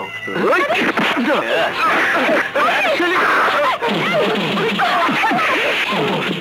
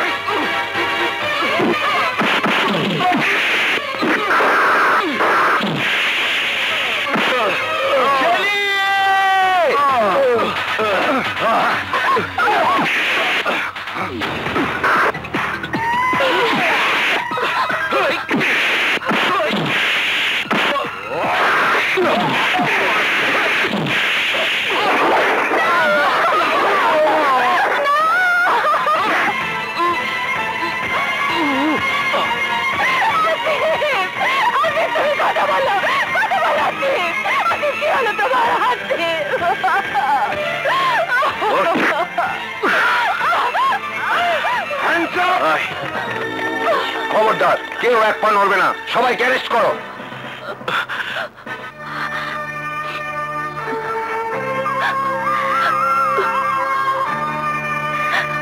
ভাগ্যের লিখন, কেউ খণ্ডাতে পারে না। আমার একটু অনুরোধ রাখবি, বোন। তোমার এই সুন্দর জীবনটাকে আবার রঙিন স্বপ্ন দিয়ে রাঙানোর চেষ্টা করো।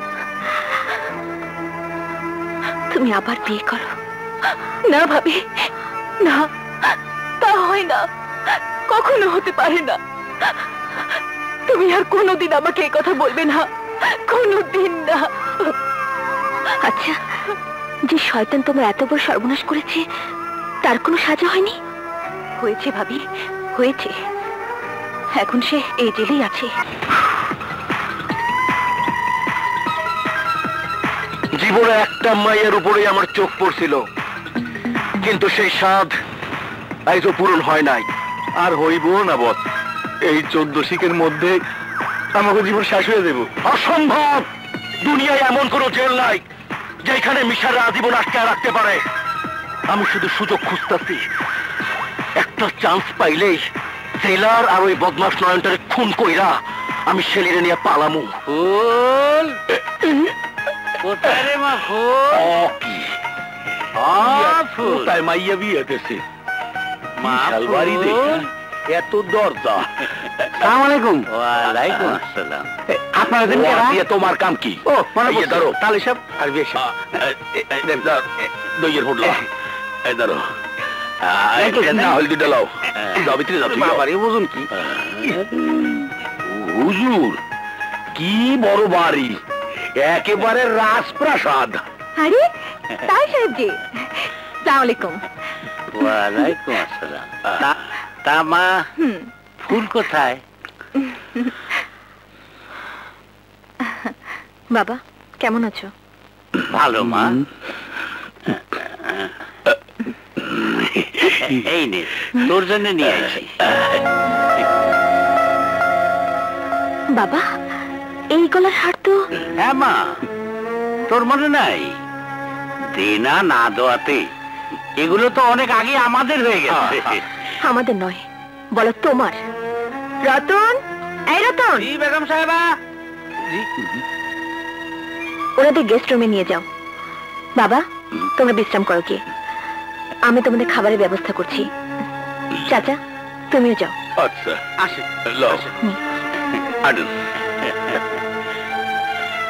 শেলি এখন কি হবে? কিসের কথা বলছো? কাল কাল সকালে যখন নয়ন কাজে আসবে, তখন যদি বাবার সামনে পড়ে যায়, উনি কিচ্ছু ভাববে না ভাবি, যা কিছু করার আমি করব। ভাবি, এই হার কার? নয়নের মায়ের। তার পুত্রবধূর জন্য রেখেছিল। কিন্তু আমার বাবা তা আত্মসাৎ করেছে। শেলে এখন আমার মান সম্মান সব তোমার হাতে। তুমি আমাকে বাঁচাও, বোন। তুমি থামো তো ভাবি। যাও তা ওই সাহেবের জন্য খাবারের ব্যবস্থা করো। আর এই হার আমার কাছে থাক। বাকি সব ব্যবস্থা আমি করছি। আচ্ছা।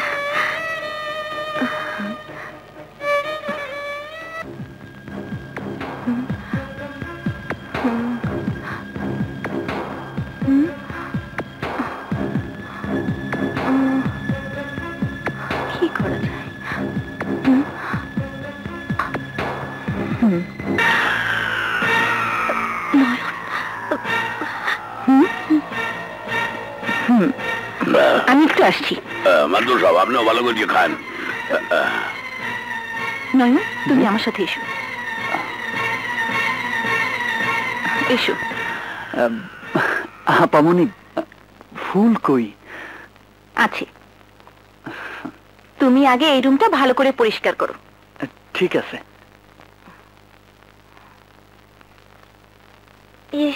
বাবা, আমি একটু আসি। নাস্তা শেষ করে তোমরা বাড়ির আশেপাশে ঘুরে দেখো। আর কয়েকদিতে কাজকর্ম দেখো। চাচা, ঠিক মতো খাও। আচ্ছা। জুড়েই গেলে। সাহেব একটা কাম করি। চলেন, এই ফাঁকে চিড়িয়াখানাটা দেখতে আসি। না না, এখন যাওয়া যাব না। তাইলে চলেন, বাড়ির আশেপাশে ঘুরিয়া কয়েকদিক দেখতে আসি। শুনছি দুইজন ফাঁসির আসামিও নাকি আছে। চল। আল্লাহ চলেন।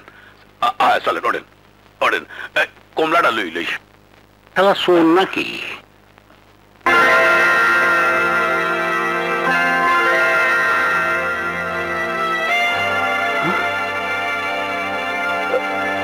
এই হার? আপা মানে এই হার এইখানে কেন? এইটা তো আমার মায়ের হার। হ্যাঁ তুমি ঠিকই বলেছ। এটা তোমার মায়ের হার। ফুলের বাবার কাছে ছিল। ফুল নিয়ে আইছে? শোনো নয়ন একটা কথা বলি। তুমি কি ফুলকে ভুলে যেতে পারবে? আপামনি তাহলে আপনারও একটা কথা কই। শুনছি আপনার স্বামী মৃত। শুনছি আপনি আর কোনোদিন বিয়া করবেন না। কারণ আপনি আপনার স্বামীর ভালোবাসা ভুলতে পারতেছেন না। যে মরে গেছে তারই আপনি ভুলতে পারতেছেন না। আর যে শুধু আমার জন্য বাইচে আছে তারে আমি কি করে ভুলে যাব কোন? আর আমি যদি বলি সে তোমাকে ভুলে গিয়ে অন্য আরেকজনকে বিয়ে করেছে তাহলে তুমি বিশ্বাস করবে? না। তোমার ফুল যদি শুনে তুমি মারা গেছো তাহলে কি তার মন থেকে তোমার স্মৃতি ধীরে ধীরে মুছে যাবে না? ওর মন থেকে আমার স্মৃতি যেদিন মুছে যাইব সেই দিন সে নিজেও বুঝতে পারব না কখন ওর মৃত্যু হয়েছে কিন্তু আপনি হঠাৎ এই প্রশ্ন করতেছেন কেন? নয়ন তুমি যদি মন প্রাণ দিয়ে ফুলকে ভালোবেসে থাকো তাহলে আমার অনুরোধ ফুলকে ভুলে গিয়ে আমার ভাবিকে বাঁচাও। মানে? মানে তোমার ফুলই যে আমার ভাবি। এসব আপনি কি করতেছেন ফুল তো কাইলে এখানে এলো। সে আপনার ভাবি হয় কি করে ফুল এখানে কাল আসেনি। অনেক আগে এসেছে এ বাড়ির বউ হয়ে। নয়ন তুমি তোমার ফুলকে ভুলে যাও। আমার ভাবিকে তুমি মুক্তি দাও। না আমি বিশ্বাস করি না। না। বিশ্বাস তোমাকে করতেই হবে। কারণ ফুল এখন এই বাড়ির বউ। আমার ভাইয়ের স্ত্রী। মিশা কথা। আমি ওর মুখ থেকে সব শুনতে চাই।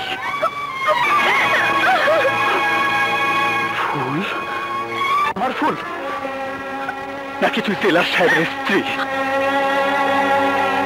চুপ করে থাকিস না। কথা কও।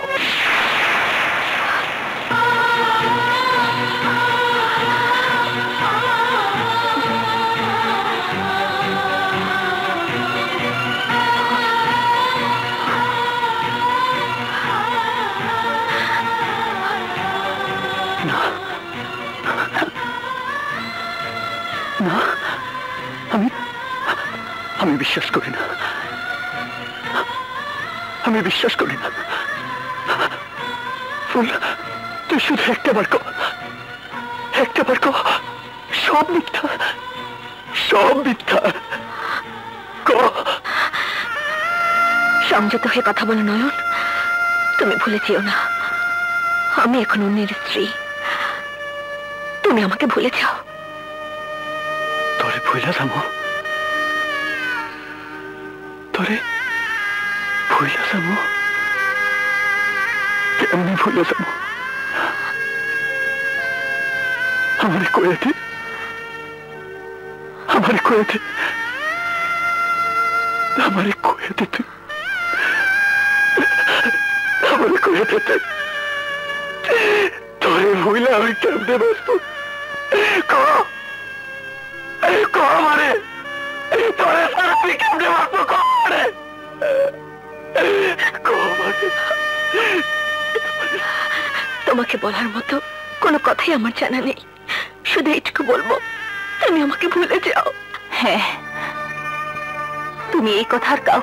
দিও না।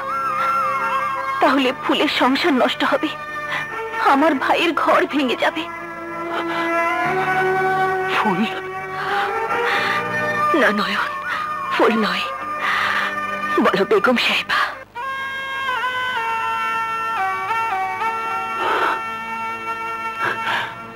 ও বেগম সাহেবা। বেগম সাহেবা। আমি আপনারে কথা দিতেছি। আপনার সুখের লেখা আমি আপনারে ভুলে যাব। ভালো থাকেন সুখে থাকেন।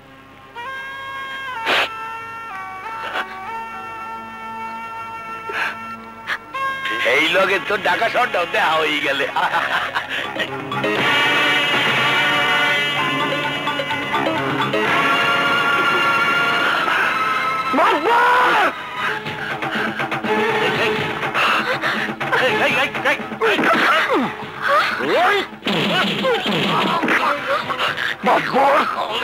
তুই আমার জীবনটা শেষ করে দিছস আজ তোরে আমি মাইরে ফেলাবো।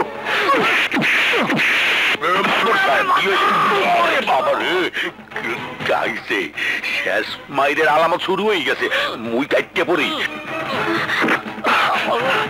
তোর জন্য আমি আমার বাপ দাদার ফিটা বাটি হারাইছি। তোর জন্য আইস আমি বিনা অপরাধে সেল খাটতাছি। এইটা তুমি কি করতেছো? তোর জন্য আমি আমার মারে হারাইছি।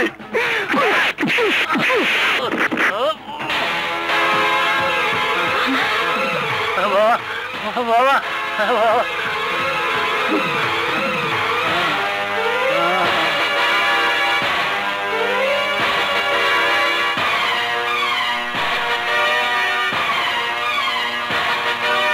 তোর এত বড় সাহস। তুই আমার শ্বশুরের গায়ে হাত দিয়েছিস। কি হলো? চুপ করে আছিস কেন? বল। বল!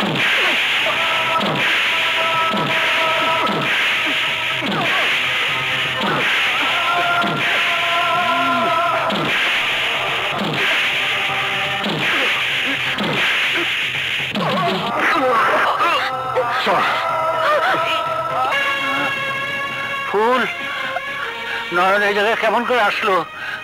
এই প্রশ্নের উত্তর তোমারই তো ভালো জানার কথা, বাবা। জেলখানা ফাঁসির রশিতে যার মৃত্যু হয়েছে বলেছ, সে এখনও কি করে বেঁচে আছে? যার মৃত্যুর খবর তুমি পত্রিকায় দেখিয়েছিলে, সে আমার স্বামীর জেল হাজতে কি করে এলো? কেন তুমি একটা মিথ্যে বলে আমার জীবনটাকে তছনছ করে দিলে, বাবা? আমি তোমার কি ক্ষতি করেছিলাম? কেন কেন তুমি বিয়ে দেবার আগে? আমাকে নিজের হাতে গলা টিপে মেরে ফেললে না, বাবা, কেন? আমি আমি যা করছি, তোর ভালোর জন্যই করছি, মা। ভালোর জন্য? মিথ্যে কথা। তোমার জামাই যখন জানবে আমি একজনকে ভালোবাসতাম, তখন যদি সে প্রশ্ন করে অন্যের ভালোবাসা বুকে নিয়ে আমি তাকে বিয়ে করেছিলাম, তখন আমি কি জবাব দেব? যদি প্রশ্ন করে, কেন আমি নয়নের কথা গোপন করেছি, আমি কি জবাব দেব? বলতে পারো মা, বলতে পারো আমি কি জবাব দেব? মারে জামাই এখনও কিছু টের পায় নাই। তুই চুপ কর মা চুপ কর। কেন চুপ করব? আজ আমি সব বলব সব বলব। কেন চুপ করব আমি? মানে তুমি কি পাগল হলে? আমি যে আর পারছি না ছেলে। আমি যে আর পারছি শান্ত হও ভাবি। শান্ত হও। সেন্ট্রি আজ থেকে ওর এই ছেলের বাড়ি যাওয়া বন্ধ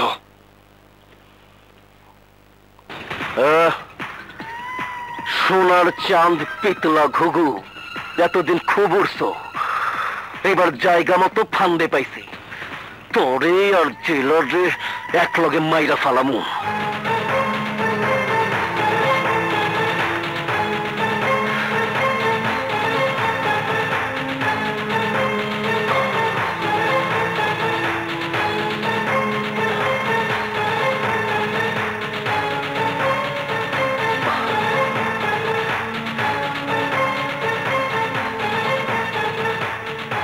নয়ন ফুলের বাবাকে কেন মারতে চেয়েছিল?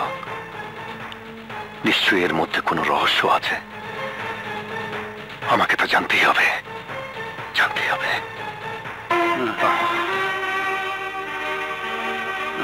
বলুন, নয়ন আপনাকে কেন খুন করতে চেয়েছিল?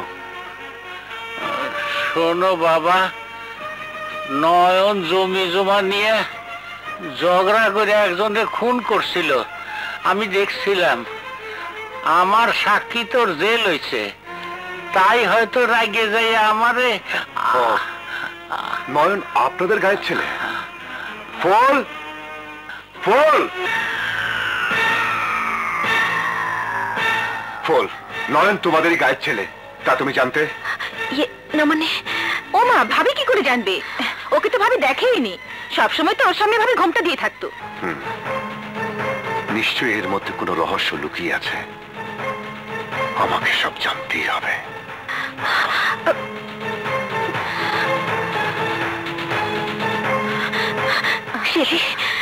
তুমি নিশ্চিন্ত থাকো ভাবি। নয়ন যদি তোমাকে সত্যি ভালোবেসে থাকে, তাহলে ভাইয়া তার কাছ থেকে কিছুই জানতে পারবে না।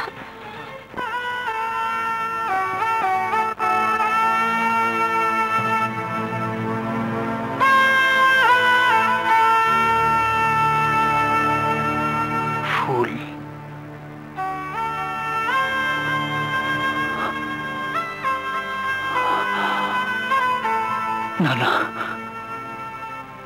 আমার ফুল আমার সাইরা অনেক দূরে চলে গেছে। সে এখন অন্যের ঘরের বউ। বেগম সাহেবা।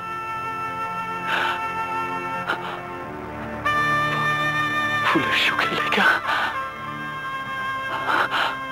ফুলের সুখের লেখা আমার সব ফুলা যাইতে হইব। আহ, আমার সব ফুলা যাইতে হইব। সুখে থাক ফুল। অনেক সুখে থাক। অনেক সুখে থাক।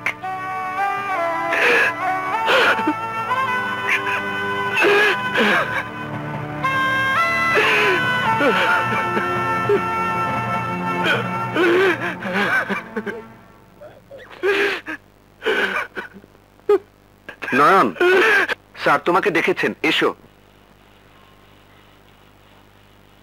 স্যার। হুম তুমি যাও।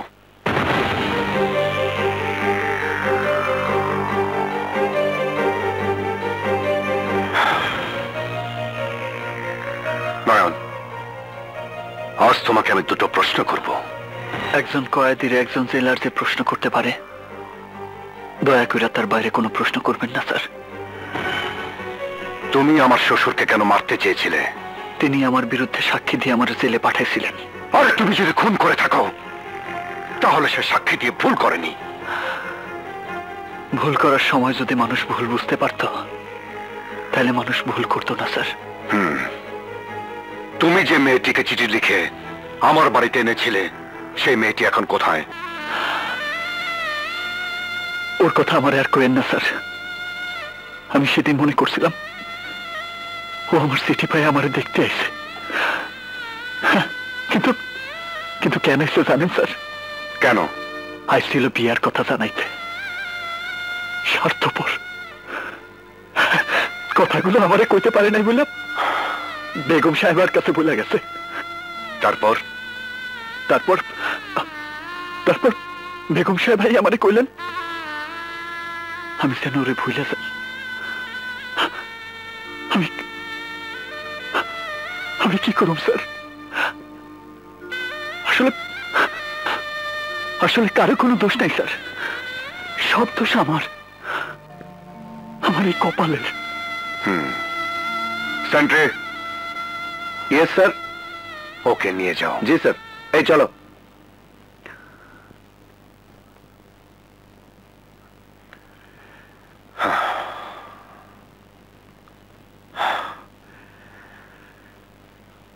শুধু শুধুই ননকে সন্দেহ করেছি।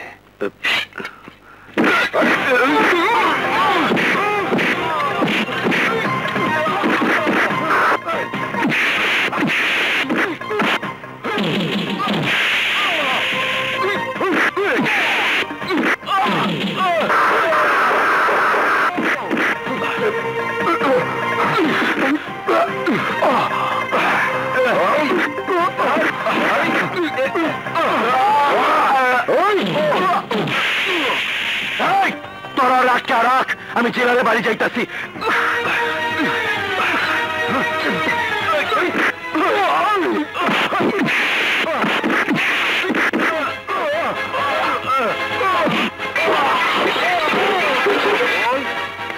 স্যার বল। স্যার মিশা তার দলবল নিয়ে পালাচ্ছে। ও নো!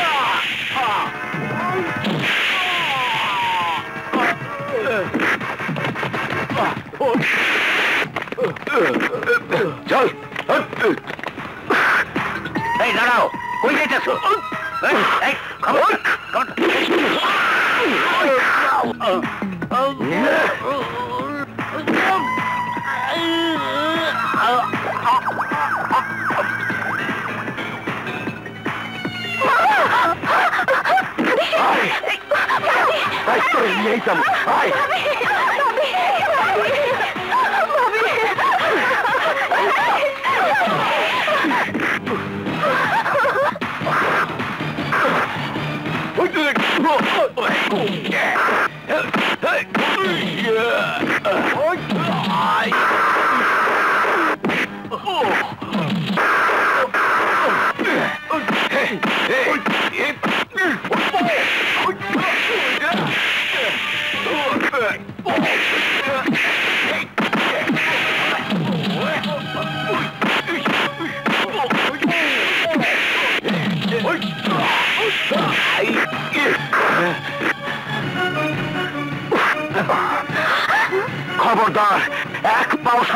আগাবি না।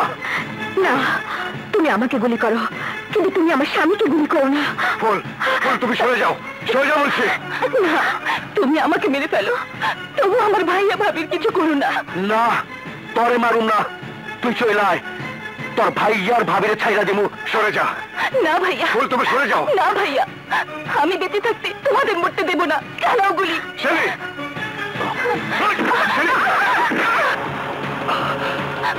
যারে পাওয়া তারে পাওয়া গেছে। এইবার তোর দুইজনে মর। না!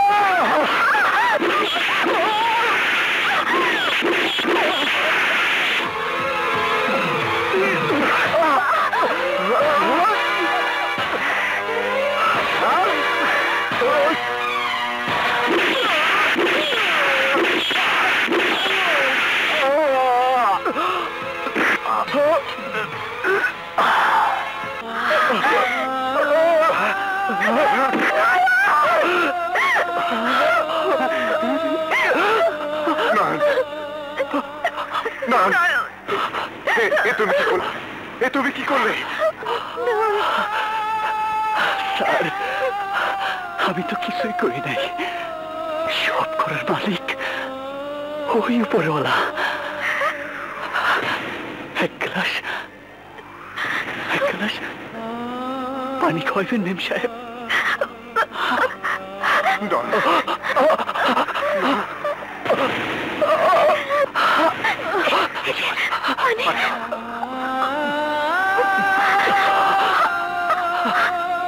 স্যার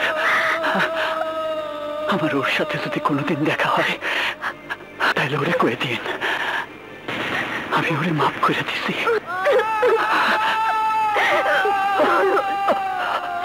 সুখে থাকেন বেকুব সাহেবা।